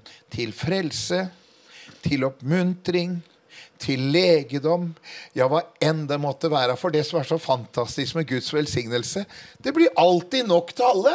Ja. Sånn er det med Guds velsignelse. Og derfor så ønsker vi at også denne kvelden må det være sånn at Guds velsignelse virker så man kan få betale for den elektriske eh, Ja, den, den delen som blir brukt akkurat nå for at det ikke skal gå i svart. Så man behøver det. Men der inne så tror vi det at Gud skal fortsette arbeidet. Og når arbeidet, eller når vekkelsesmøtene begynte, da tenkte jeg på den gangen alle de åra som jeg var med i Evangeliesenteret. Vi hadde møter på Ringen kino i Oslo. Ja. Det begynte i det små, og så kommer det mer og mer av folk fordi folk elsker atmosfæren, folk elsker forkynnelsen, folk elsker sangene, og så får vi lov å bare oppleve at Gud er midt iblant oss. Det er sånn det er, vet du. Vekkelse med, må begynne med meg. Jeg kan ikke peke på deg, Du må begynne med meg. Det er, så, det er sånn det er, Jostein. Ja. Så det, jeg er bare så takknemlig til deg og til Visjonsbefalingen at eh, dere står, står med, og at vi også får formidle også denne sanggleden av tidløse sanger. Ja. Så, um, så tusen, tusen takk, Jostein. Det er, Så, så det, er vi, det er vi som skal være takknemlige. Det er vi som skal være takknemlige for at vi i hele tatt får lov å stå på denne plattformen her sånn. ja. Det er også, det er også nåde. Det er ikke noe selvfølge. Det er når jeg kommer fra sidelinja, ser inn på alt det dere gjør, alle arbeiderne, alle som driver på hver sin måte, er i sammen for å bygge Guds rike og tar tak. Vet du at eh, Jeg visste ikke at det var så stort. Jeg hørte du snakka, ikke bare du, men alle de andre også. Hørte dem fortalte, og nå jeg kommer inn her, og vi skal være med på Syng med, og jeg ser alle sammen som står på. ja. Da, da er det, det er ett ord i Bibelen som jeg tenkte på. Det står, Jeg kan ikke huske hvor det står hen, men det står 'stå stille' og se Guds herlighet. Sånn er det. Jeg måtte bare av og til stå stille og se hva som foregår. Og jeg forstår jo det at eh, man behøver noen kroner for å, for å få dette store arbeidet, TV-arbeidet. Og jeg håper at du vil være med, du også, sånn som jeg har gjort denne kvelden. At du vil være med for at det skal lykkes. At vi bygger Guds rike sammen. Tusen takk skal du ha, Jostein. Så da er det bare å, å ringe inn, eller vippse, eller sende, sende SMS-meldinger. Så uh, klarer vi dette her. Vi har klart det i 20 år nå snart. Det er jo bare fantastisk. Det er mirakel. Det er jo bare mirakel på Ja. mirakel. Det er akkurat som en ufrelst uh, kar som kommer her og hjelper oss å jobbe på Visjon Norge. Han er ikke frelst. Og han sier da at hei, det, det, det er egentlig umulig å drive en TV-kanal sånn som dere driver. Og etter hvert som han her er, her er mer og mer. Og han jobber jo i NRK, TV 2 og andre steder, denne karen. Så blir han mer og mer troende. For han sier det er helt umulig å drive TV på den måten dere gjør. Ja. Så bare det i seg selv er et mirakel. Og da må vi bare si ja, men det er takket være Jesus. Og så er det takket være den store Visjon Norge-familien. Og så er det takket være også misjonsbefalingen og deg og staben og alle. For dette er jo, dette er jo eh, eh, ikke one man show. Dette er mm, eh, oss alle. Amen. Da overlater vi til eh, holdt, holdt jeg på å si misjonsbefalingen, men det er, det er comfort Ja, som er her er i kveld. Fint. Da hører vi fra dere. Gud velsigne dere.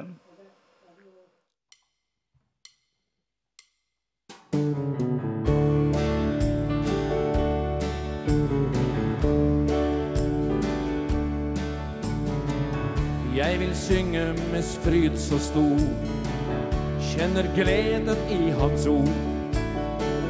Tror på en som er større enn meg. Legger livet i Guds hånd. Jeg vil synge om Hans nåde og Hans makt. Han har lovet bevare fra alt ord. Han vil aldri gå bort.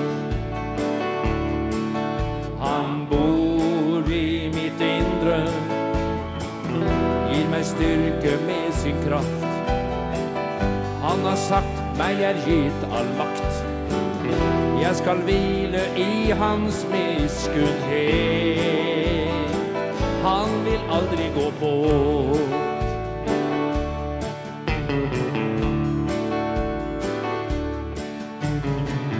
Fridde meg fra mørkets makt. Jeg har seier i hans kraft. Han sa, jeg er verdens lys. Lyser opp på livets vei leder meg i prøvelsenes støv. Jeg er trygg i Herrens sterke hånd.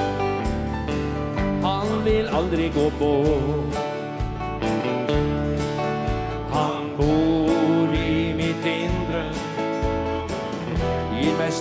Styrke med sin kraft. Han har sagt meg er gitt all makt. Jeg skal hvile i hans medskuddhet.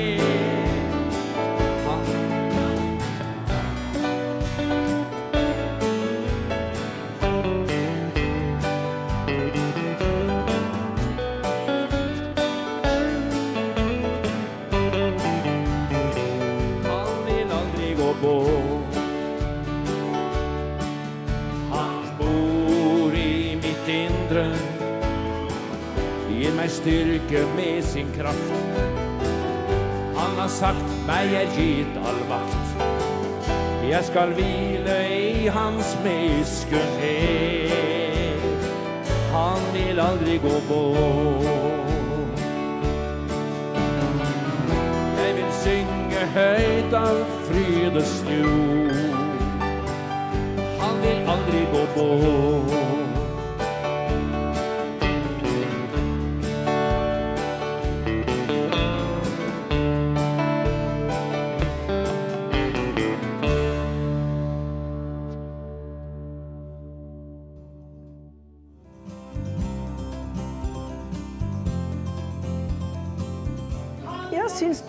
Visjon Norge er en bra kanal, da? Ja, veldig bra kanal, for eh, mange av de andre kanalene er veldig sånn Det er så mye negative nyheter og sånn og sånn, men da kan du alltid bli oppmuntra med litt mer positive nyheter på Visjon Norge. da. Og evangeliet, som er jo de gode nyhetene. Så det passer bra. Så hyggelig. Du vet jo det at det det er mange som bare ser på, og ser på, og ser på, aldri støtter økonomisk. Hva vil du si til de som enda ikke gir sin støtte? Jeg vil si at det er vel den største evangelisten egentlig i Norge, da, med Visjon Norge. Så det er ikke sant, Du tenker på Hans Nilsen Hauge som eh, måtte gå eh, rundt i hele Norges land, da. Men, men eh, Visjon Norge er jo veldig effektiv, da. Så den går ut til Norge på bare noen sekunder, da. Så det er en veldig effektivt måte å evangelisere på, da. Så da er det veldig viktig å støtte det. Tror du noen blir frelst gjennom kanalen? Ja, det har en jo hørt flere eh, ting om, da. At eh, når de reiser rundt eh, på sånn seertreff, at eh, mange har blitt frelst og helbreda. Og, og kanskje mer enn det som kommer fram, egentlig. Så, så det er veldig bra. og ja. Tusen, tusen takk for at du kom med en hilsen. Jo, Hjertelig takk. bare hyggelig, og Gud velsigne dere. Og jeg vil òg bare si til slutt at det er bare Jesus som er den eneste veien til himmelen. Amen.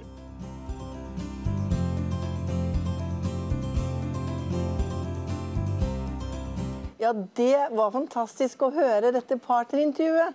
Hun sier faktisk det at eh, Visjon Norge det er Norges største evangelist. Og det kan jeg skrive under på. Eh, Det står faktisk noe veldig sterkt i Bibelen som du kanskje ikke vet om. Og det står i Gamle testamentet, og nå skal jeg sitere det.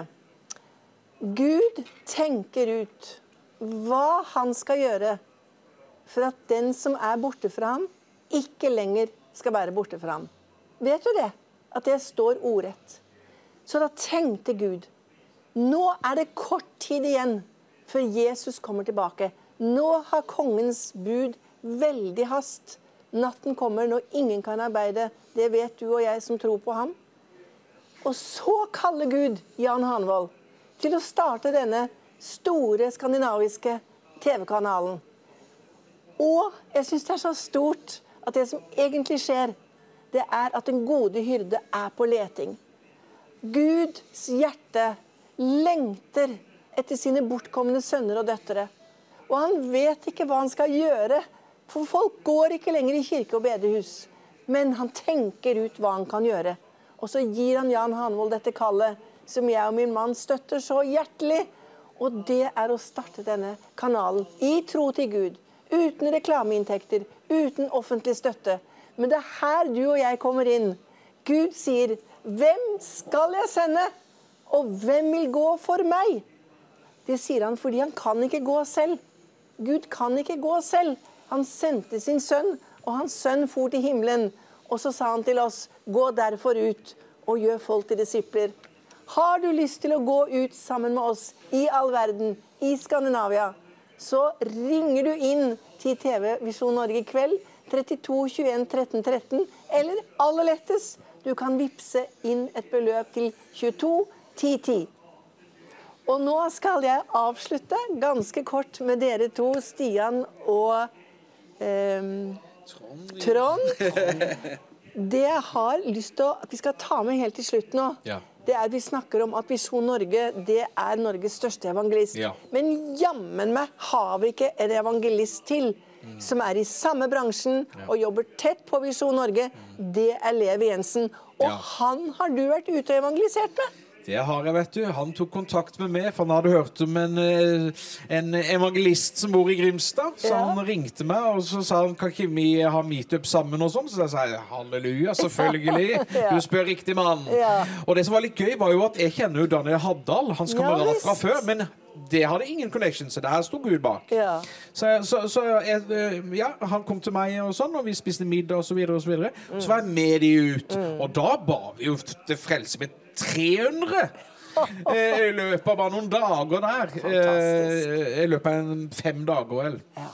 Så det var veldig sterkt å være med på hva Herren gjør i hans liv, Ja, og salva ham, og, og den tjenesten han står i. Så det, mm. det er veldig, veldig inspirerende for meg, da. Ja. Det må jeg, vi, Det kan jeg må jeg si. Ja. Og, og jeg, det jeg syns er rart, eh, som jeg sier til dere begge to Ikke sant? Jeg tenker på um, Jeg tenker på f.eks. Titanic. Det var liksom et skip som ikke kunne synke. Og de danset på dekk, og de var bare helt sorgløse. Og det var tidenes story. Og det de ikke vet, det er at de raser rett mot et isfjell. Og vi vet at isfjell har ni tiendedeler under vann, og bare en liten tupp som stikker opp. Det umulige som de tenkte var umulig, det skjedde. Det gikk mot en total katastrofe. Og nå kaster Jesus ut sin livbøye i kveldstiden Ja. for å frelse mennesker. Amen. Og nå skal du få noen ord helt til slutt. Ja. Hvis du får et minutt til å si det beste du vet om Jesus, hva vil du si da? Jeg vil si eh, at Jesus, han, eh, han elsker deg så høyt. Han har, hans kjærlighet for, eh, for hver og en enkelt den er så stor, så vi, vi kan faktisk ikke begripe det. Eh, og når vi, vi tenker at vi er bare noen støvkorn, vi er ikke noe her på livet i jorda. Vi, mitt liv er ingenting verdt. Jeg har ikke noe verdi. Ikke, det er noen andre som eh, sikkert kan fikse eller gjøre et eller annet. Ja. Nei, han elsker deg så høyt. Han syns du er den beste i verden. Ja. Så kall på han, for han vil redde deg opp. Han vil dra deg opp. Han vil ha deg opp. Han, han, han elsker deg. Han vil ha deg inntil sitt, sitt bryst. Ja. Og bare fylle seg opp med, med hans kjærlighet. Vil han bare la seg strømme utover deg. Mm. Hvis du vil ta, eh, ta det valget og bare kalle på han. Kall på Jesus. Ja. Strålende. Kall på meg på nødens dag, så vil jeg utfri deg, og Og du jeg skal skal prise ham. Ja, halleluja. Og det er jeg et vitne på. Ja. Amen. Og jeg takker dere av, men før jeg gjør det, Trond, så skal du få et minutt. Hva er det viktigste du vil si? Hvis det er det, la oss si at det var siste gangen. Det er mange som trekker sitt siste sukk Ja. i natt, Trond. Ja. Hva vil du si det siste minuttet? Jeg vil si at de burde si Jesus, frelser, flytt inn i mitt hjerte. Jeg ber, flytt inn i mitt hjerte. Så vil han flytte inn i ditt hjerte. Og han vil bevare deg. Han vil bevare ditt liv. Sett din lit til Jesus Kristus. Han kan få vekk depresjon, han kan få vekk angst, han kan få vekk dine problemer. For han er med deg i daler, han er med deg på høyden, han er med deg i all evighet. Halleluja! Jesus er vår frelse. Han kommer med kjærlighet. Han vil gi deg nærvær. Han vil gi deg styrke. Han vil gi deg kraft. Han vil gi deg mot. Han vil gi deg evig håp. Han vil gi deg evig liv. Halleluja! Takk og lov! Takk og lov at vi er Guds barn. Jeg blir så revet med i Jesu navn. Har vi flyttet inn i ditt hjerte. Takk og lov. Ja, halleluja! Fantastisk. Den første som gikk inn i paradis når Jesus hang på korset, det var en røver. Og han sa 'tenk på meg'. Og han var den første som gikk på rød løper like inn i paradis. Men det som er sterkt, og som jeg har lyst til å si før vi setter over til callsenteret nå Husk at det var en gigantisk demonstrasjon som skjedde på korset. Det var én frelser i midten som ikke hadde gjort noe galt. Han bar verdens synd. Det var én røver på hver side. Vet du hva som skjedde den natten? Én ble tatt med, og én ble latt tilbake. Den røveren som fortsatte å stopp, spotte, han som ikke ba sin frelsesbønn, han gikk evig fortapt. Én ble tatt med. Det var han som sa, 'Jesus, tenk på meg'. Han andre ble latt tilbake. Måtte du gi ditt liv til Jesus. Så hvis det skulle være i natt som var din siste natt her på jorden, så har du bare én sjanse til å slå dine øyne opp i paradis. Det er at du roper på Jesus og ber han frelse deg og skrive ditt navn i livets bok. Nå sier jeg takk til Stian og Trond, og vær så god til callsenteret. Ja, her står vi, Svein, og her har det jo skjedd noe siden sist vi var inne. Ja. Vil du begynne med oppdateringene fra din PC? Da begynner vi med myking. Sår innført familievekkelse 1000 kroner. Så bra. Askim 1000. Lakselv bukt 777. Vestskogen 500. Søgne 500. Skal vi se ifra Oslo med 1000. Og ifra Ilseng med 1000. Helt herlig. og- Hjertelig, hjertelig. Det er jo helt fantastisk at det kan bli digitalt på den måten der. Jeg skal ta det som har kommet på papirutgaven så langt, og det er bare faktisk to enheter. Det er 500 fra Hundvåg og 500 fra Sørumsand. Vi skal holde deg oppdatert, for callsentervaktene våre har nok litt å gjøre, de òg. Så vi skal ta det etter hvert. Ja, Men og på, på Vips, Tom. yep. På 22.10.10 siden sist.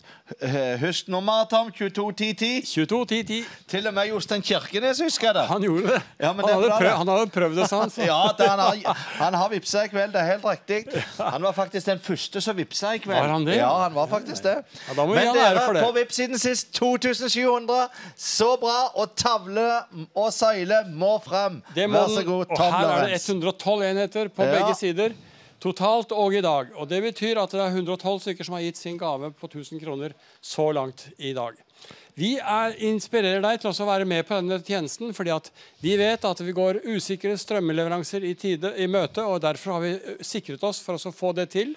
Og vi gjør det på den måten at vi har laget en såkalt power supply-boks foran, s- foran callsenteret vårt og foran uh, TV-bygget vårt, slik at vi har strøm hele tiden. Strømmen går, eh, power supplyen går på, og alt fungerer som det skal. Men eh, jeg kaller det, vel å kalle det et aggregat. Det er et aggregat. For det, det er vi mest kjent med. Men er dere, vi skal ha mer sang og musikk. Ikke glem å vips. Ikke glem å sende en SMS. Og ring inn til telefonvaktene våre 32 21 13 13. Musikk er klar.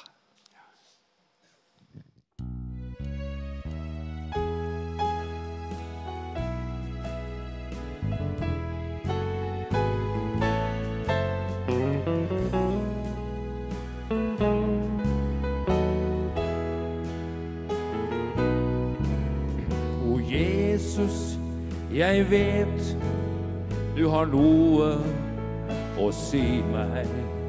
Jeg vet at du vil.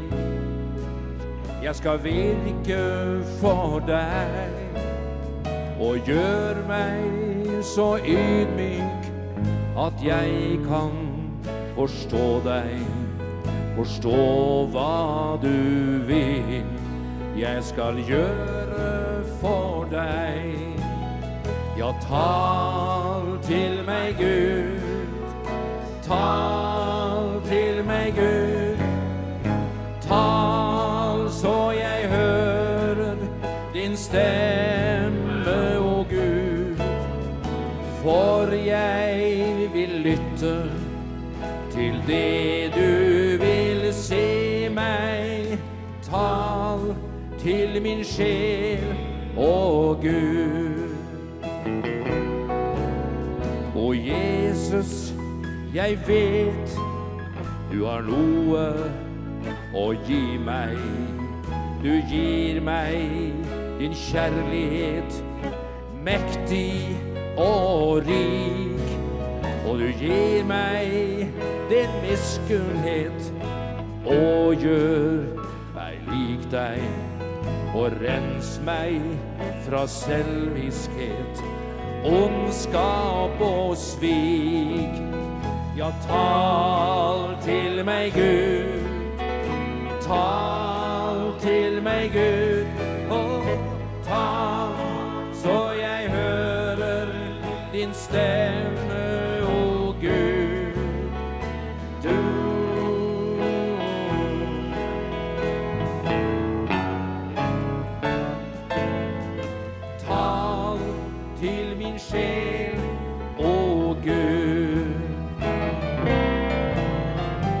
takker deg, Jesus, for alt du vil gi meg.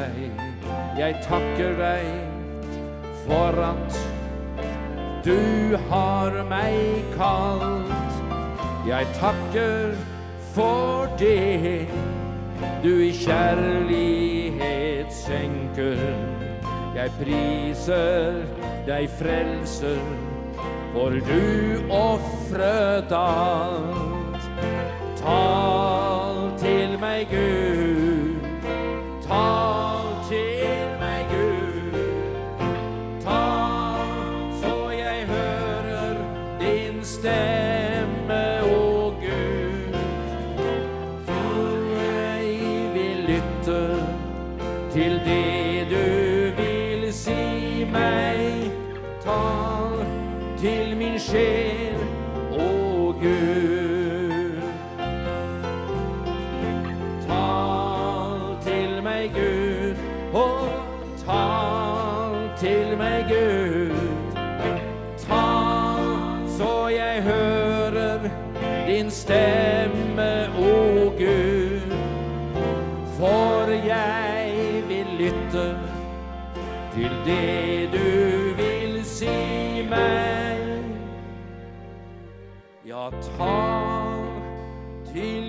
Sjel, å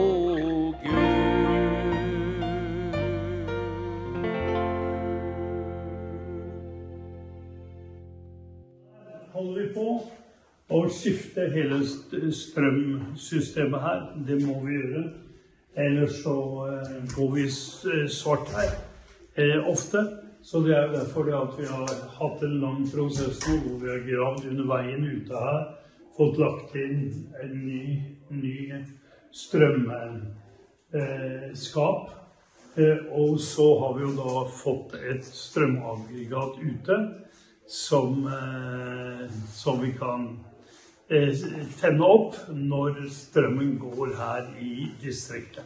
Så takk at du står med oss på det. Ja, det er sterkt, Jan Hanevold, at eh, vi kan være med her og samle inn penger til nytt strømaggregat. Og nå har jeg fått en ny gjest, min gode venn Annelise Thomsen. En sterk forbereder for Visjon Norge fra Danmark, men du er egentlig norsk. Jeg er helnorsk, ja. Men jeg har vært gift dansk. Jeg har vært dansk, eh, gift dansk, og det har jeg vært i mange, mange år. Ja. Så, men jeg kommer til å bo i Danmark. Ja, Det forstår jeg godt. Der har du barna dine og familien, Ja, ja. så hvorfor ikke? Men det er veldig godt at du er her så ofte, Annelise.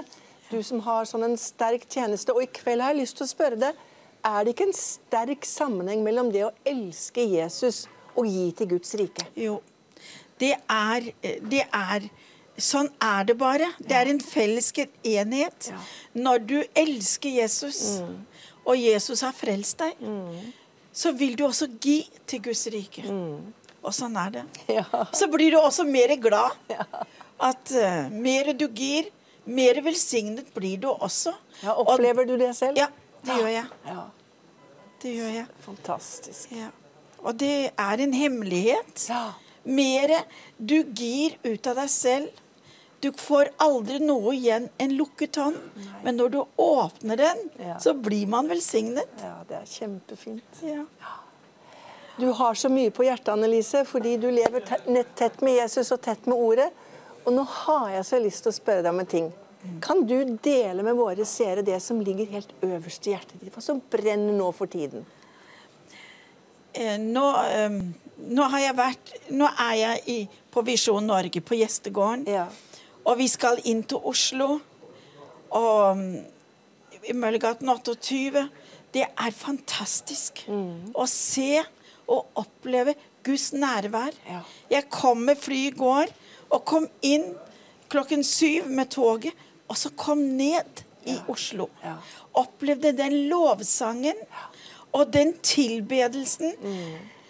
Det var som at himmelen bare åpna seg. Og så kunne vi se at det var noen som har opplevd Jesus. Og jeg hører de har bedt med 300, tror jeg. Ja visst. Flere Og så skal vi ut i morgen. Og jeg gleder meg. Så bare det fellesskapet. Også det at vi kan be. Eh, Vi har hatt noen herlige bønnemøter. Også i dag. Vi startet vi, Jeg skulle stå parat klokken halv seks i morges. Så kom Bønnesveien etter meg, og flere med. Og så hadde vi herlig bønnestund. For de som ikke vet det, så er Svein Linseth leder på bønnesenteret. Ja. ja. Ja, men Så flott. Og hva, hva er det spesielt som Gud trykker på nå, Annelise, når dere ber? Hva er det spesielt? At mennesker skal bli redda. Ja. At vi må ha det rette forholdet til Jesus. At vi må være få mer av Jesus. For i dag er det så meget ufred, uro, angst og frykt. Men det er kun Jesus som kan gi fred. Og det kan man oppleve disse dager nå. Mer vi er felles, mer vi kan være sammen med Guds folk, så lengter vi at andre skal bli frelst. Helt fantastisk. Det lengter jeg etter mer. Så i morgen så er det en ny dag. Inn på Oslo, i Oslo. Og Møllegaten 28. Mm. Og der har du vært før, som ung? Ja. Kan du ikke nevne det, Annelise? Jo. Det er jo veldig sterkt da med Jo. dere som har vært der for Ja. 100 år siden, holdt jeg på å si. Fortell litt om den tiden. Nesten 100. Fortell litt om den tiden, er Jo, du snill. det var um, Jeg ble frelst og opplevde Jesus. Og Jesus gjorde et mirakel i meg. Hvor, var du da når du ble frelst? Var det hjemme hos deg selv, på møte? Nei, det var på møte i Maranata. I Maranata. Og min far var veldig mot det. Mm. Men han uh, kunne se Jeg forandra meg ikke, men jeg fikk en ekte glede og en fred. Og en harmoni. Og mm, salvelsen kom over meg, og jeg elska å be med folk. Og den gleden, den har bare fortsatt. Og det var i Møllergaten 28. Tenk på det, da. Ja. Og så ringet Inger og Jan om jeg ville være med inn til Oslo. Mm. Og så skulle vi innvie det i bønn. Igjen. Ja. Etter så mange, Etter mange så år. mange år, ja. Det var siste år, tror jeg. Det var så sterkt. Og så gikk vi fram og tilbake. Plattformen, vi tre. Mm. Inger, Jan og meg. Åh, jeg fikk en sånn glede. Og så gjenopp... Jeg, opplevde alt hva jeg hadde opplevd av Gud. For det var flere år? Mange, mange, mange år siden. Tenk på det. Ja. Ja. Ja, det er veldig stort. Det er flere av dere. Både Harald og Unni Og flere av dere som var Som, Ja. som nå holdt jeg på å si Ja, er og vi er bevart. Ja. Ja, Men det var så sterkt. Vi lærte å gå i bønn. Det var bønn som var hovedsaken. At vi må be, så får vi. Let, så skal vi finne. Mm. Bank på, så skal vi lukkes opp. Som det står i ordet. Og det lærte vi. Og så mer vi ba, mer flere ble det frelste. Og mange ble helbreda. Og den kraften er stadig vekk. Og det tente en ild den gangen, og den brenner ennå. For da var det vekkelse? Det var vekkelse. Det var vekkelse. Og da må jeg, men så var jeg, som jeg har sagt før, blei så syk. Så lært Så var det en som forklarte meg at jeg kunne ringe Nei, ikke ringe. Se på Visjon. Og så sto Jan der og talte om skapende tro. Og da var jeg så syk og holdt på med stråler av kreft. Og så, når han talte Gud kan helbrede deg. Og det grep jeg. Akkurat som gjorde- Jesus skapte en, en oppreisning inni meg som jeg opplevde i mine unge dager. Tenk på det. Og, så, og det var Jan Hanevold som var villig å stå på ordet og bringe det frem. Det nettopp, ja. Og jeg ble helbredet. Derfor Og det, Og det er noen år siden nå? Ja, det er ti år siden. Og siden da har du vært trofast Visjon Norge? Ja. Jeg vil at andre skal Støtte. oppleve det. Ja, så stort. Ja, men eh, jeg tenker på dette her som skjer nå i Møllergata med han Jussi. Han er jo kjempebrennende. Både han og kona og barna som han har med seg. Og dette evangelistteamet. Og tenk på over 300 mennesker du har tatt imot Jesus på gatene. Gleder du deg til å gå ut? Gjør du det? Jo, Ja, det gjør jeg i morgen. Ja, fantastisk. Jeg, ja, jeg, eh, det er flere som kommer. Fra, en fra Lårdalen og rundt omkring. Og en Også, som har sittet på bussen i syv timer i dag tenk på det. for å være med. Og, det, og han Jussi, han er Han er helt overgitt til Ja, Jesus. er det ikke fantastisk? De har fulgt ham på TV. Ja. Men han er sånn i virkeligheten. Ja, det vil jeg tro. Åh, det er bare det å snakke med han, og så stråler han av Jesu kjærlighet. Og til deg som eh, ser på Visjon Norge akkurat nå, du skal vite at du kan komme klokka to til Møllergata 28 i morgen. Der blir det undervisning om hvordan man går ut på gaten og ber med folk til frelse og forteller om Jesus. Og senere blir det møte på kvelden, og det skal være møte fra og med morgen til og med søndag. Så du er velkommen til Møllergata 28. Og med det så vil jeg sette over til callsenteret og se hvordan det går med innsamlingen. I, ja, Tom. Og da vil jeg si at det er viktig du kommer både på evangelisering og på møte i Møllergata i morgen. For at eh, det er nettopp noe av dette denne innsamlingen her dreier seg om. Det er et såkorn for vekkelse i Skandinavia. Og eh, når vi ser på tilstanden, ugudeligheten, frafallet, mørket, alle disse tingene her som kommer veltende inn over oss hver eneste dag og flere ganger daglig, så er, der er det bare én ting som holder. Det er til å gripe tak i Jesus. Det er kun én ting som holder nå. Det er til å velge Jesus framfor denne verden. Det er kun én ting som holder nå. Det er til virkelig å tjene Jesus framfor å tjene denne verden. Så vi har ikke så lang tid igjen, men det som vi har, det kan vi nytte maksimalt. Helt fantastisk det som skjer i Oslo. Tenk at vi i Norges hovedstad har et team som går rundt og forkynner evangeliet, og som får lov å snakke med en enkeltperson eller en liten gruppe mennesker. Og så mange som har tatt imot Jesus med frelsesbønn så langt. Det er helt fantastisk, og du er med på dette. Du er en av disse misjonærene som sender disse folka ut. Så vær med og gi din gave inn i kveld, så er du med på dette evangeliseringsarbeidet også.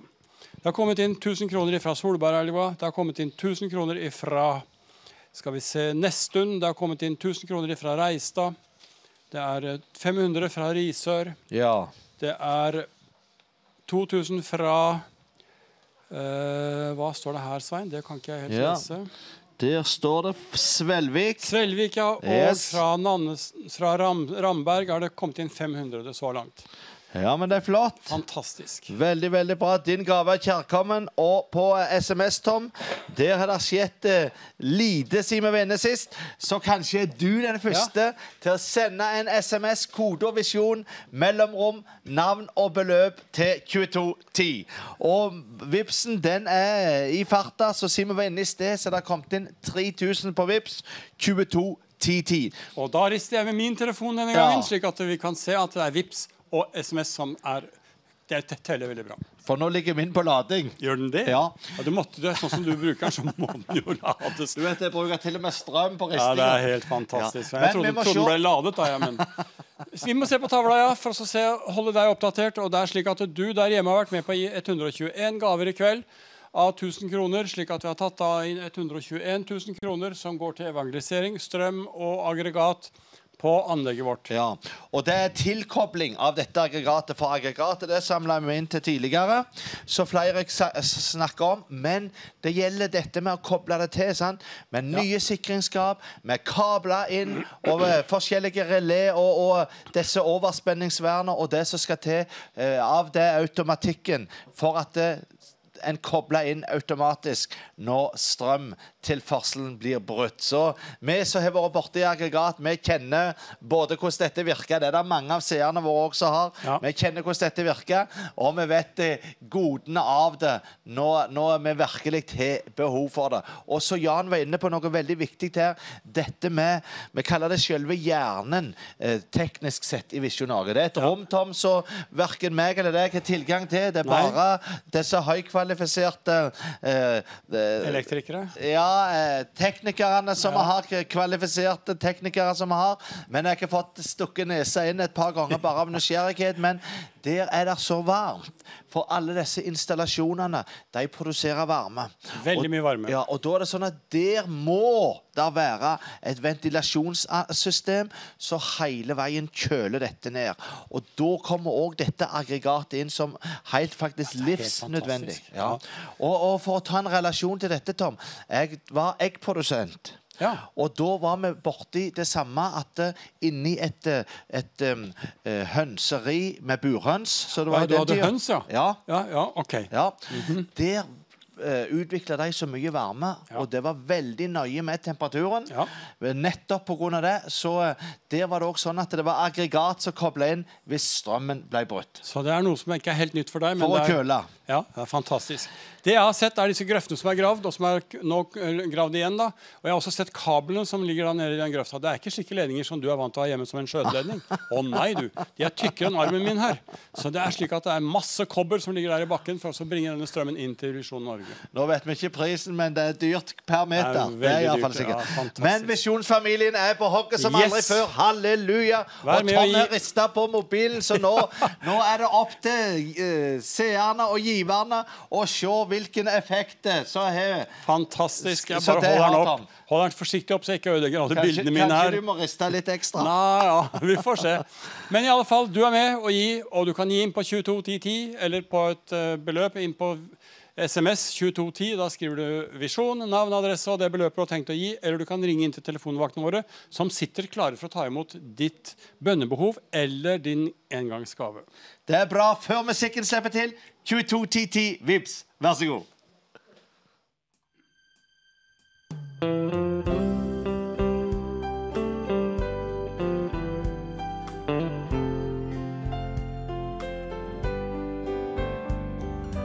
Ditt liv er blitt en kamp, et slitsomt lykkejag. Å bli likt av alle, uansett hvilket folkeslag. Fornekter din tro ved å ikke støte menneskene bort. Har du mistet troen på din Gud, så hør, tro som et barn, hør mine ord. Jeg er den sanne frelse på jord. Hvis du skal finne hjem til Gud, da må du vende Herrens ord. Vi har alle fått et bud fra Herren Jesus Krist. Meg er gitt all makt i himmelen og på jord. Gå derfor ut for å gjøre alle folkeslag til mitt. Der det må holde alt jeg har befalt. Tro som et barn, hør mine ord. Jeg er den sanne frelser på jord. Hvis du vil finne hjem til Gud, da må du vende om. Det er Herrens ord. Jeg ga deg mitt liv, og jeg ga deg mitt annet. Mitt blod er din frelse, bare gi meg ditt ja. Be om tilgivelse, se at du har fått evig liv. Og så Tro som et barn, hør mine ord.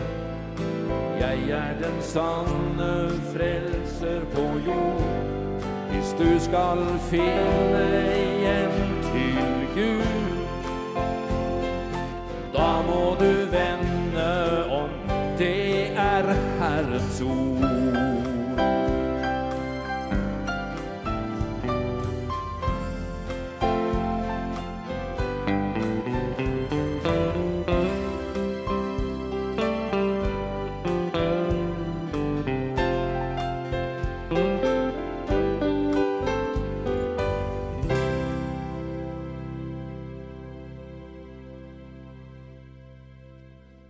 Det var, jo, det var jo et fantastisk budskap du hørte her fra Country Comfort.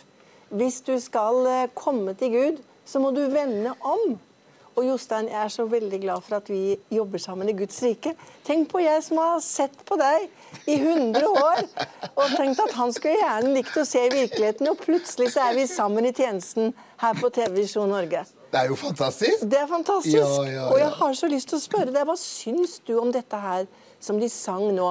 At hvis du skal komme til Gud, så må du vende om. Du vet det, mange som sier at vi, vi må slutte med denne forkynnelsen om å vende om. Mm. Kan ikke du forklare hva det dreier seg om? Det derre omvendelsen.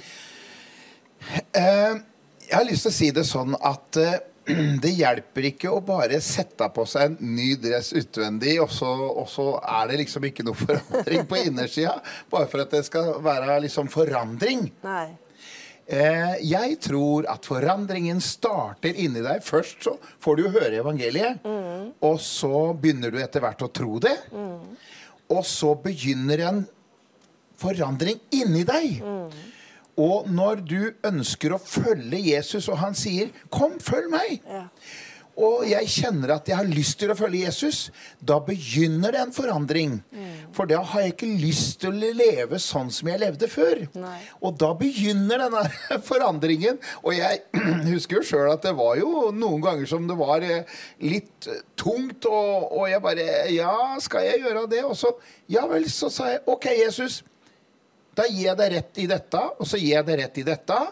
Og så bare velger jeg å stole på deg. Og så kjenner du at virkelig glede, dypet av hjertet, det handler om å følge Jesus. Og da ble det en forandring, Astrid. Så, så den, det, det starter der inne, og så blir det forandring utvendig. Og i tankene og handlingene og osv. osv. Det blir en fa fantastisk forandring. Ja. Jeg tror nok at veldig mange tenker at å, Jostein Kirkenes har vært frelst i 100 år. Men det jeg har lyst til å spørre deg om, kan ikke du kort fortelle hvordan i alle dager ble du frelst? Altså hvordan Hva skjedde på det tidspunktet hvor du selv kan si at ja, da møtte jeg Jesus? Ja. Jeg var så heldig Astrid, at jeg vokste opp i et eh, kristent hjem med mamma og pappa som ba til Gud. Og vi tre søskna vi var med Det var vår arv. Det var det vi vokste opp i. ikke Mhm. sant? Men i ungdomsåra så vendte jeg meg bort ifra Gud. Det vil si, jeg trodde 120% på Gud, Ja. på Bibelen, men jeg ville ikke leve det livet. Jeg ville leve sånn som jeg sjøl ville. Ja. Og så kjente jeg at det var ikke noe særlig bra liv, det som jeg ønska å leve. Mm. Og så gikk det noen år, og jeg fikk et, eh, faktisk et, eh, et ungdomsrusproblem. Alle mennesker behøver ikke ha det, men jeg fikk det. Fikk det. Ja, et ungdomsrusproblem.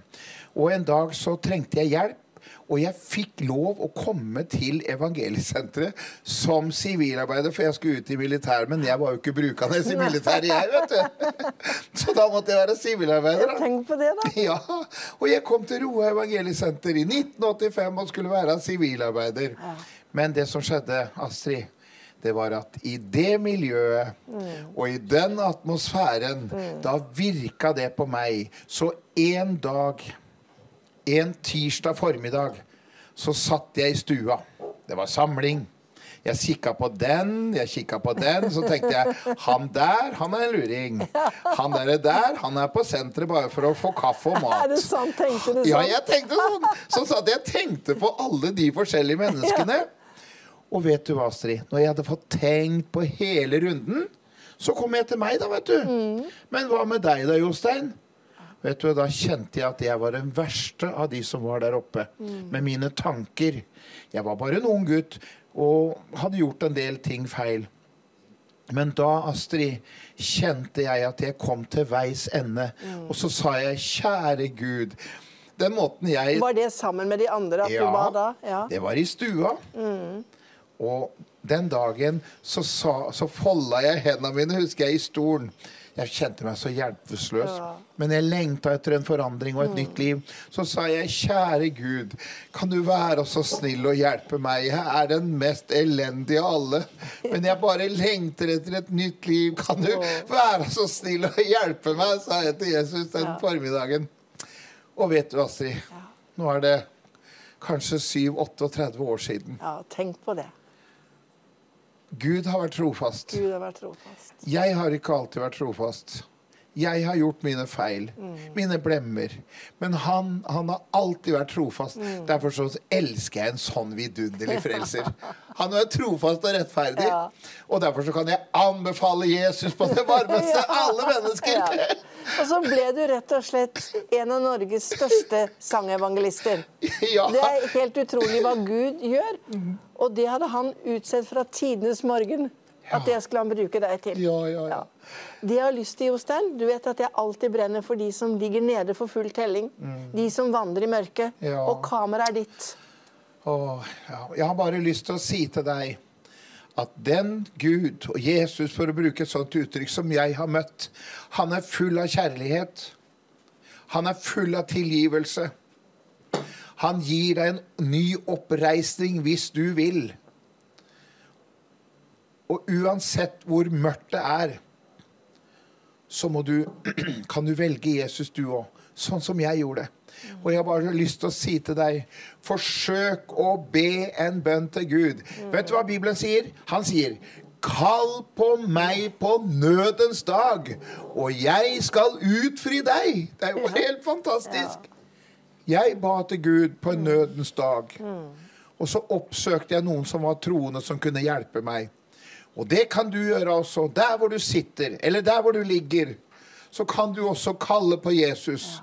Kanskje er det noen som har vært kristne, eller som er kristne, som du ikke liker, eller er et hinder for at ikke du kan søke Gud. Vet du hva jeg har lyst til å si til deg? Legg bort de personene. Jesus har ikke gjort deg noe vondt.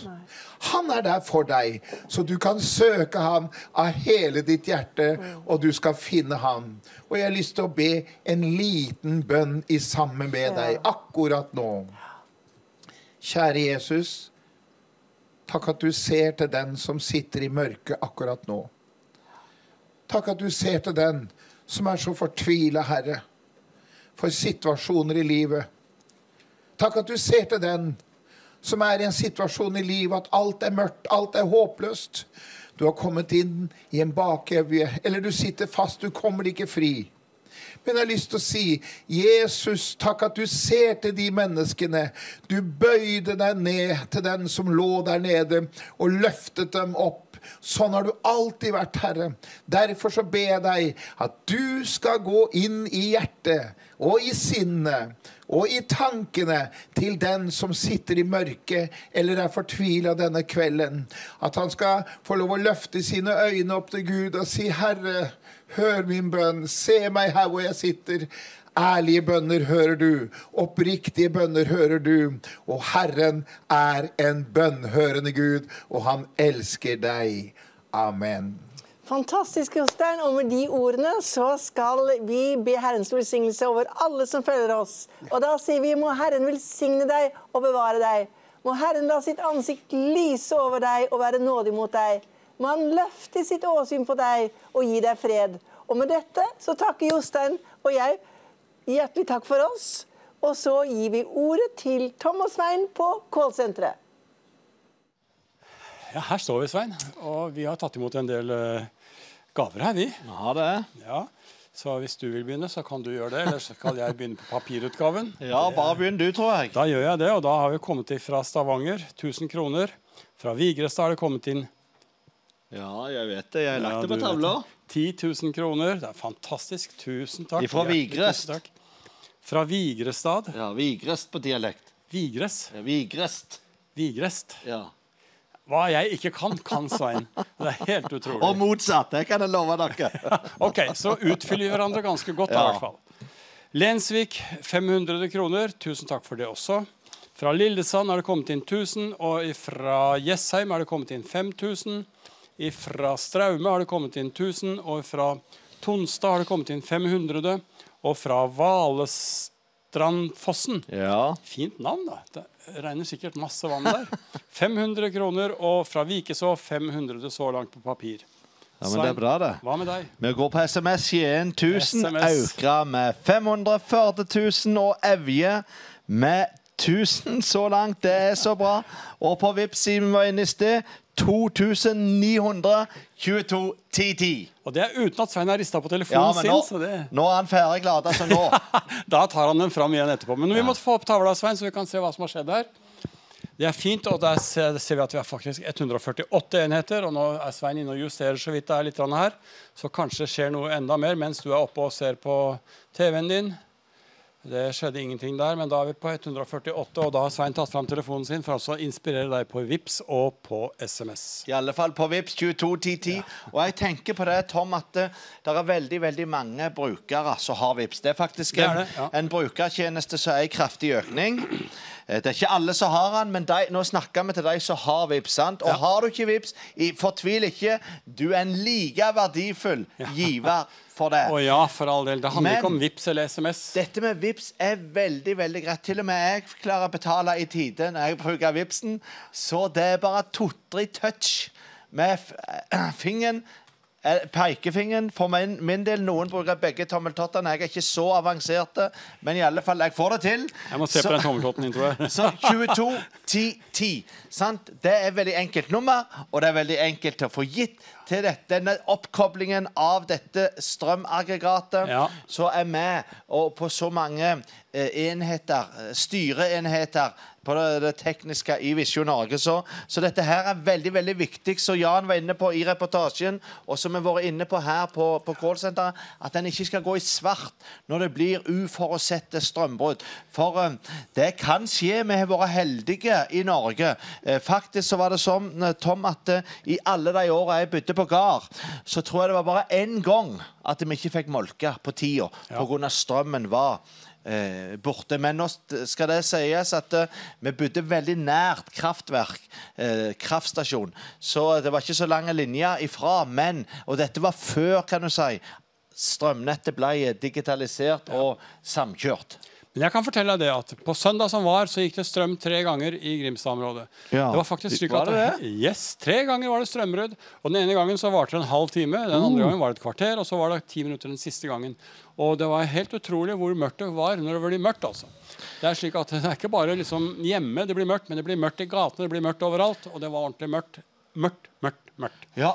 Det må ikke skje på Visjon Norge. Nei, og da kan det bli skikkelig mørkt i noen sitt liv. Ja, det gjør det. For at hvis det er noen i sin dypeste fortvilelse, noen som er på vei kanskje til å ta livet sitt, noen som er på vei til å gjøre truende ting så, så på en måte vi ikke skal gjøre, så ville det være en eh, katastrofe om akkurat i det tidspunktet der, når denne personen trengte disse ordene, dette budskapet, Ja. disse, denne musikken, eh, eller sangen, eh, eller gjestene for den saks skyld, bønnen fra, fra Visjon Norge, så ville det vært en fadese hvis en ikke var operative på lufta akkurat da. Så dere, dette er faktisk med på å berge liv, tror jeg. Det er det, og sånn er det at vårt budskap skal ut, og Guds ord har hast. Amen. Skal vi se litt på tavla, Svein? Ja, vær så god.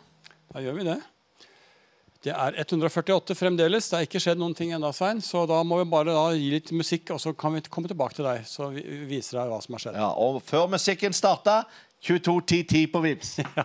Vær så god. Bra, Svein.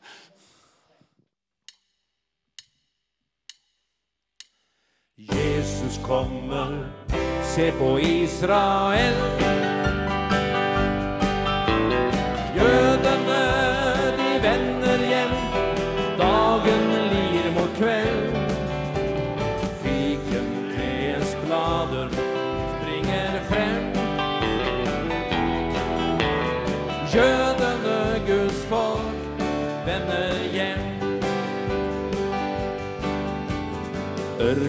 Ørkensanden graves bort, blomster kommer frem.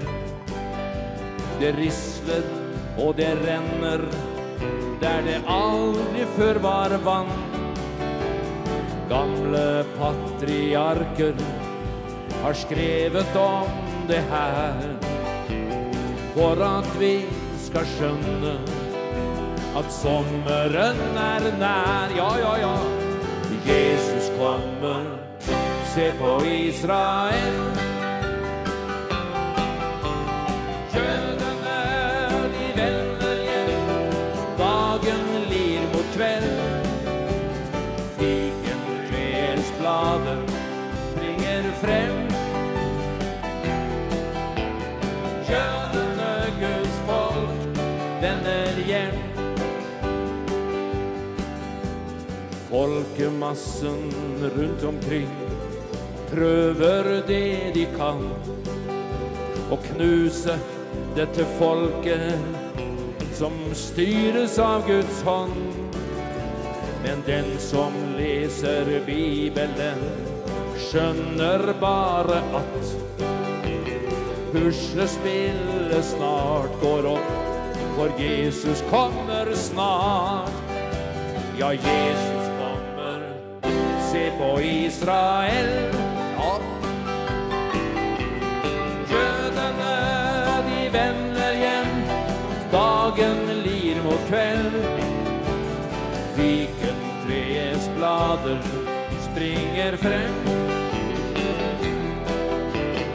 Jødene, Guds folk, vender hjem. Skal oljeberget revne, Jesus treder frem. Jødene skal kjenne frelseren igjen. Han som de har gjennomstunget, Messias, sønn av Gud. Ja, bered deg for din frelser, snart er nådetiden slutt. Ja, Jesus kommer, se på Israel.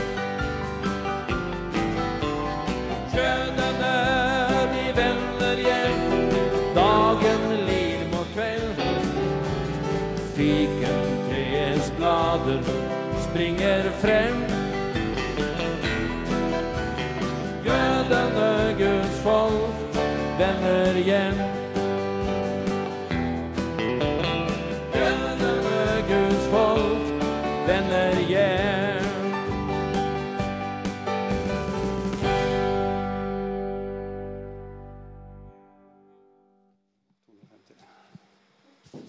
Er vi her, Svein. Ja, det er bra, det. Nå skulle jeg akkurat gå og oppdatere. Ja, det er fint. Men det vil jeg gjøre uansett mens du eh, leser opp. Ja, det er ikke så... også, jeg Det kan jeg gjøre, men da begynner jeg med det som er papirutgaven først. Og Der er det fra Stavanger 250 kroner og 200 kroner fra Haugesund. Samme område, faktisk. Jeg vet ikke om det er samme fylke, kanskje, men det er det nok kanskje heller ikke. Da er det fra Skånevik Nå skal vi se, Svein. 200 kroner. Og så kan du ta resten der. Ja, og her hilser de Gir meg glede 1000 kroner fra Fra- ei søster i Drammen. Fantastisk. Og så har vi 100 fra Skånevik og Fenomenalt. 1000 fra Kopervik. Herlig. Ja, men det er bra. Du, jeg trodde du skarra, jeg, Svein. Han- Jeg blir avslipa her borte, vet du. Det er det du gjør. Sånn er det. Ellers så er det slik at det har kommet kanskje noe inn på Vips. Jeg vet ikke Ja, om du det har holdt inn en eh, Skal vi se her i sted, var det en 500 på Vips. det har det kommet inn 100 til på Vips. Skal vi se her.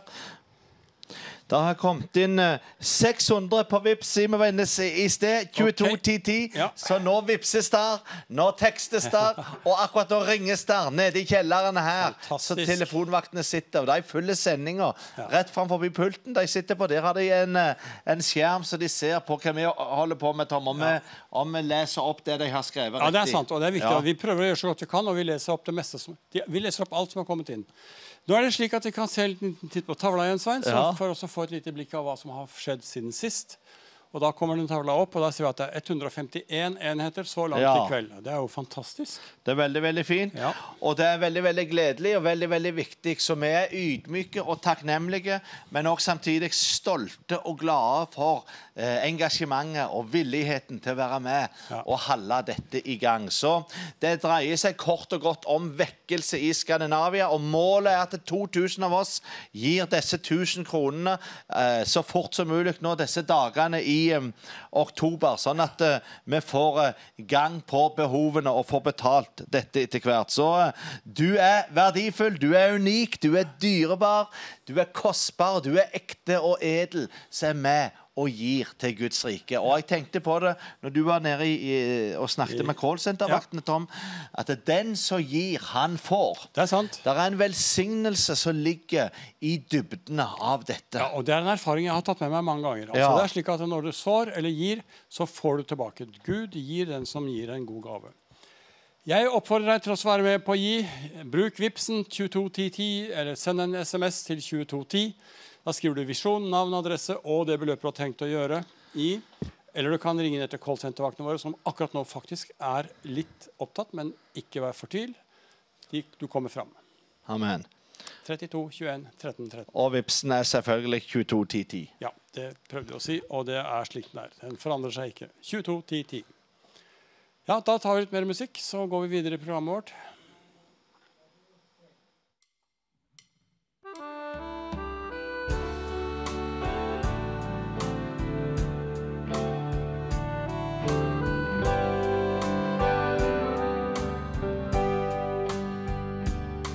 Herre kjær, vis meg hva din vilje er.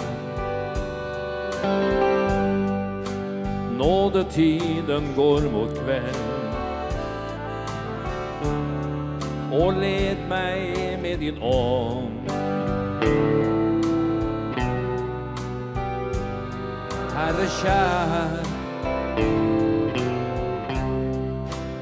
du har sagt du kommer snart. Hjelp meg å ha allting klart. Ja, led meg, Herre kjær. La meg hvile i din fred. For nådens tid er nå. Snart så brister himmelens sky. Og ordet ditt har tal. Og bli hos oss, det lir mot kveld. Hjelp oss, spre ditt ord. Og la din vilje skje med meg. Herrens ord har talt. Herre kjær, vinden blåser dit den vil. Vet ei hvor den kommer fra. Hvor den farer hen. Ja, Herre kjær. Du har født oss med din ånd. Styrk oss nå i endens tid. Ja, led oss, Herre kjær.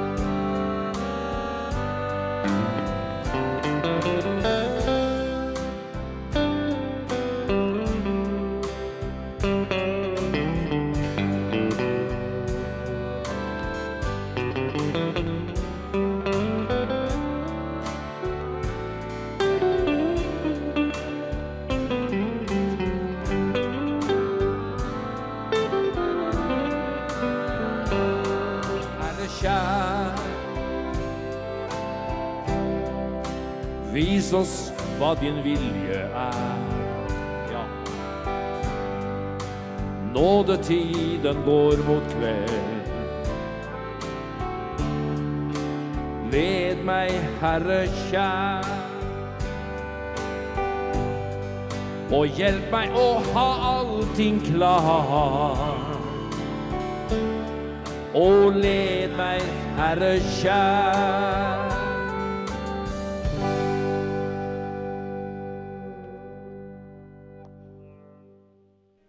This is Evangelist Jussi, and I want to invite you to revival meetings in Möllergata 28 on Thursday, Saturday, and Sunday in Oslo. It's so easy to come to this place. It's only 500 meters from Oslo Central Station. Come if you need healing in your body, if you need miracle in your life. We will pray for you and we will pray with you. And of course, we will preach the word of God and we will pray together. We are believing that God wants to move. So come to Möllergata Studio 28, Thursday, Saturday, and Sunday at 7 o'clock. See you there. Be blessed.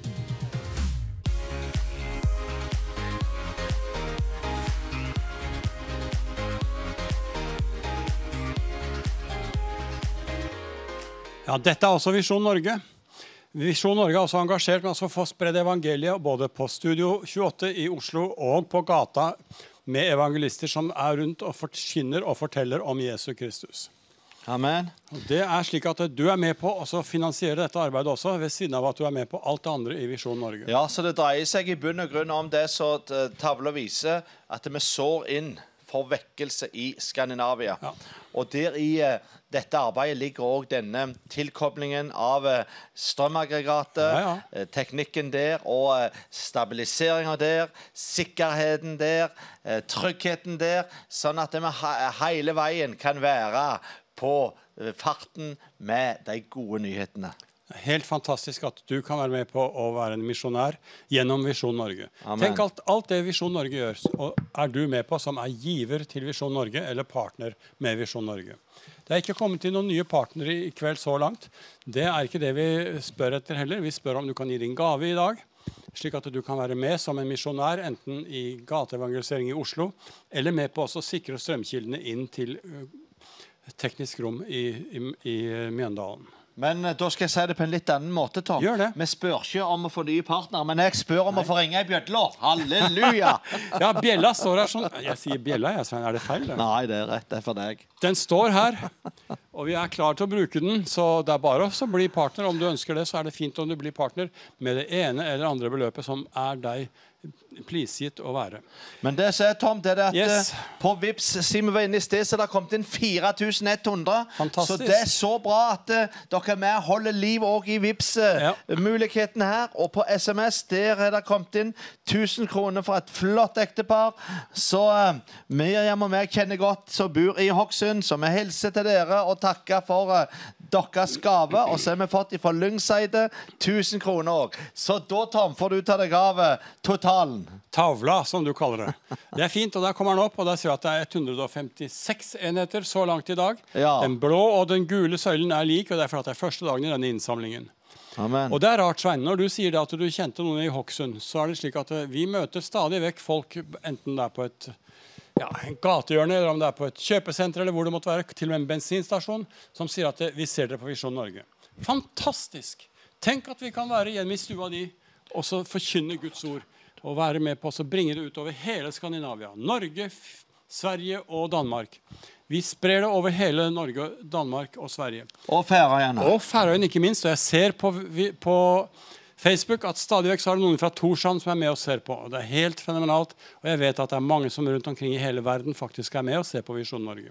Ja. Så det er en misjonskanal som du kan være med og støtte. Ja, og mens du snakker, Tom, så er det noen som har brukt Vipsen igjen, 221010, og gitt 1000 kroner. Så, så det er bra. Det har begynt å bli bedre effekt av det enn å riste og smile. fantastisk. Og da er vi oppe i 157 enheter, men vi skal se mer på tavla etter hvert. Nå skal vi få litt mer musikk, og så går vi videre i programmet. Ja, og det er siste sangen nå i kveld. ja. Så for at vi skal be for alle som har gitt, og vi skal òg legge hendene på bønnebegjæret. Så eh, Halleluja. du får mulighet nå eh, i kveld til å være med og bidra til tilkobling av dette eh, strømaggregatet. Og eh, så får vi sang og musikk, og så gleder vi oss over å legge hendene på dine bønnebehov. Amen.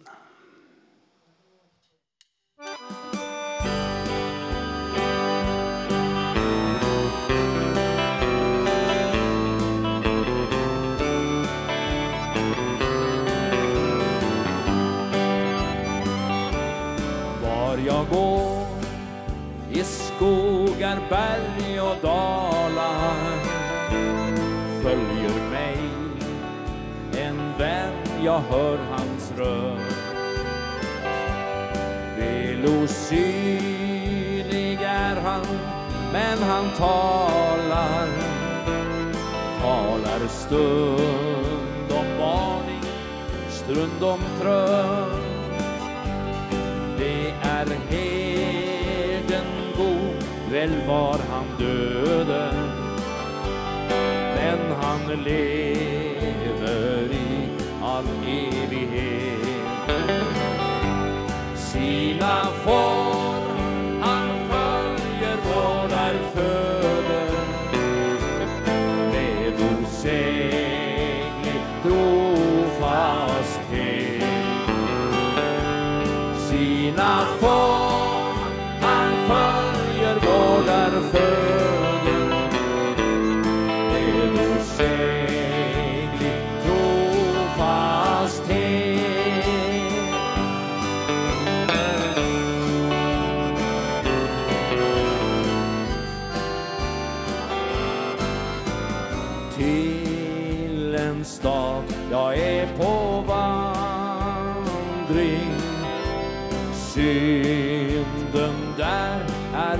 utanför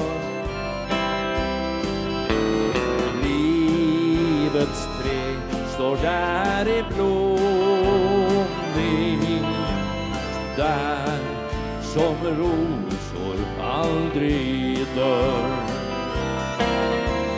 Där skall rosor aldrig falna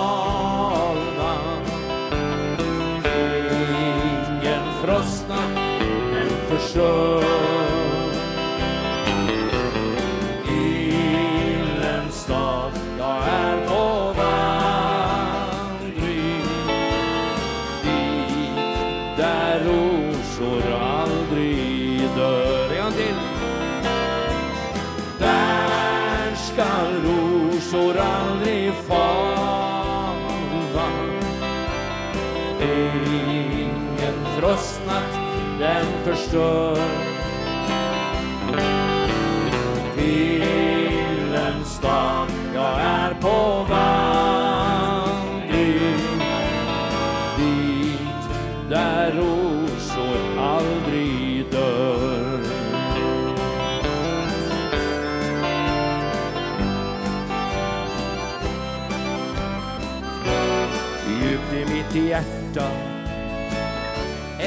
längtan jag kände Tänk att få vara där hemma en gång och möta Jesus och alla de vänner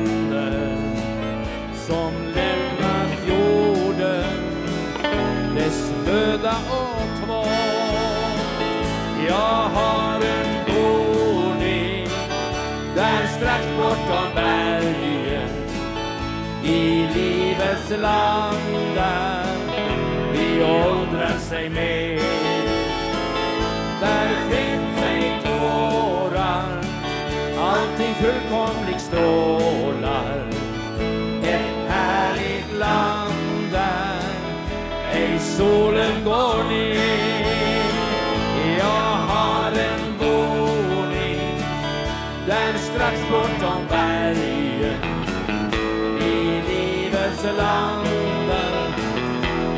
åldrar sig med. Där finns ej tårar, allting fullkomligt strålar. Ett härligt land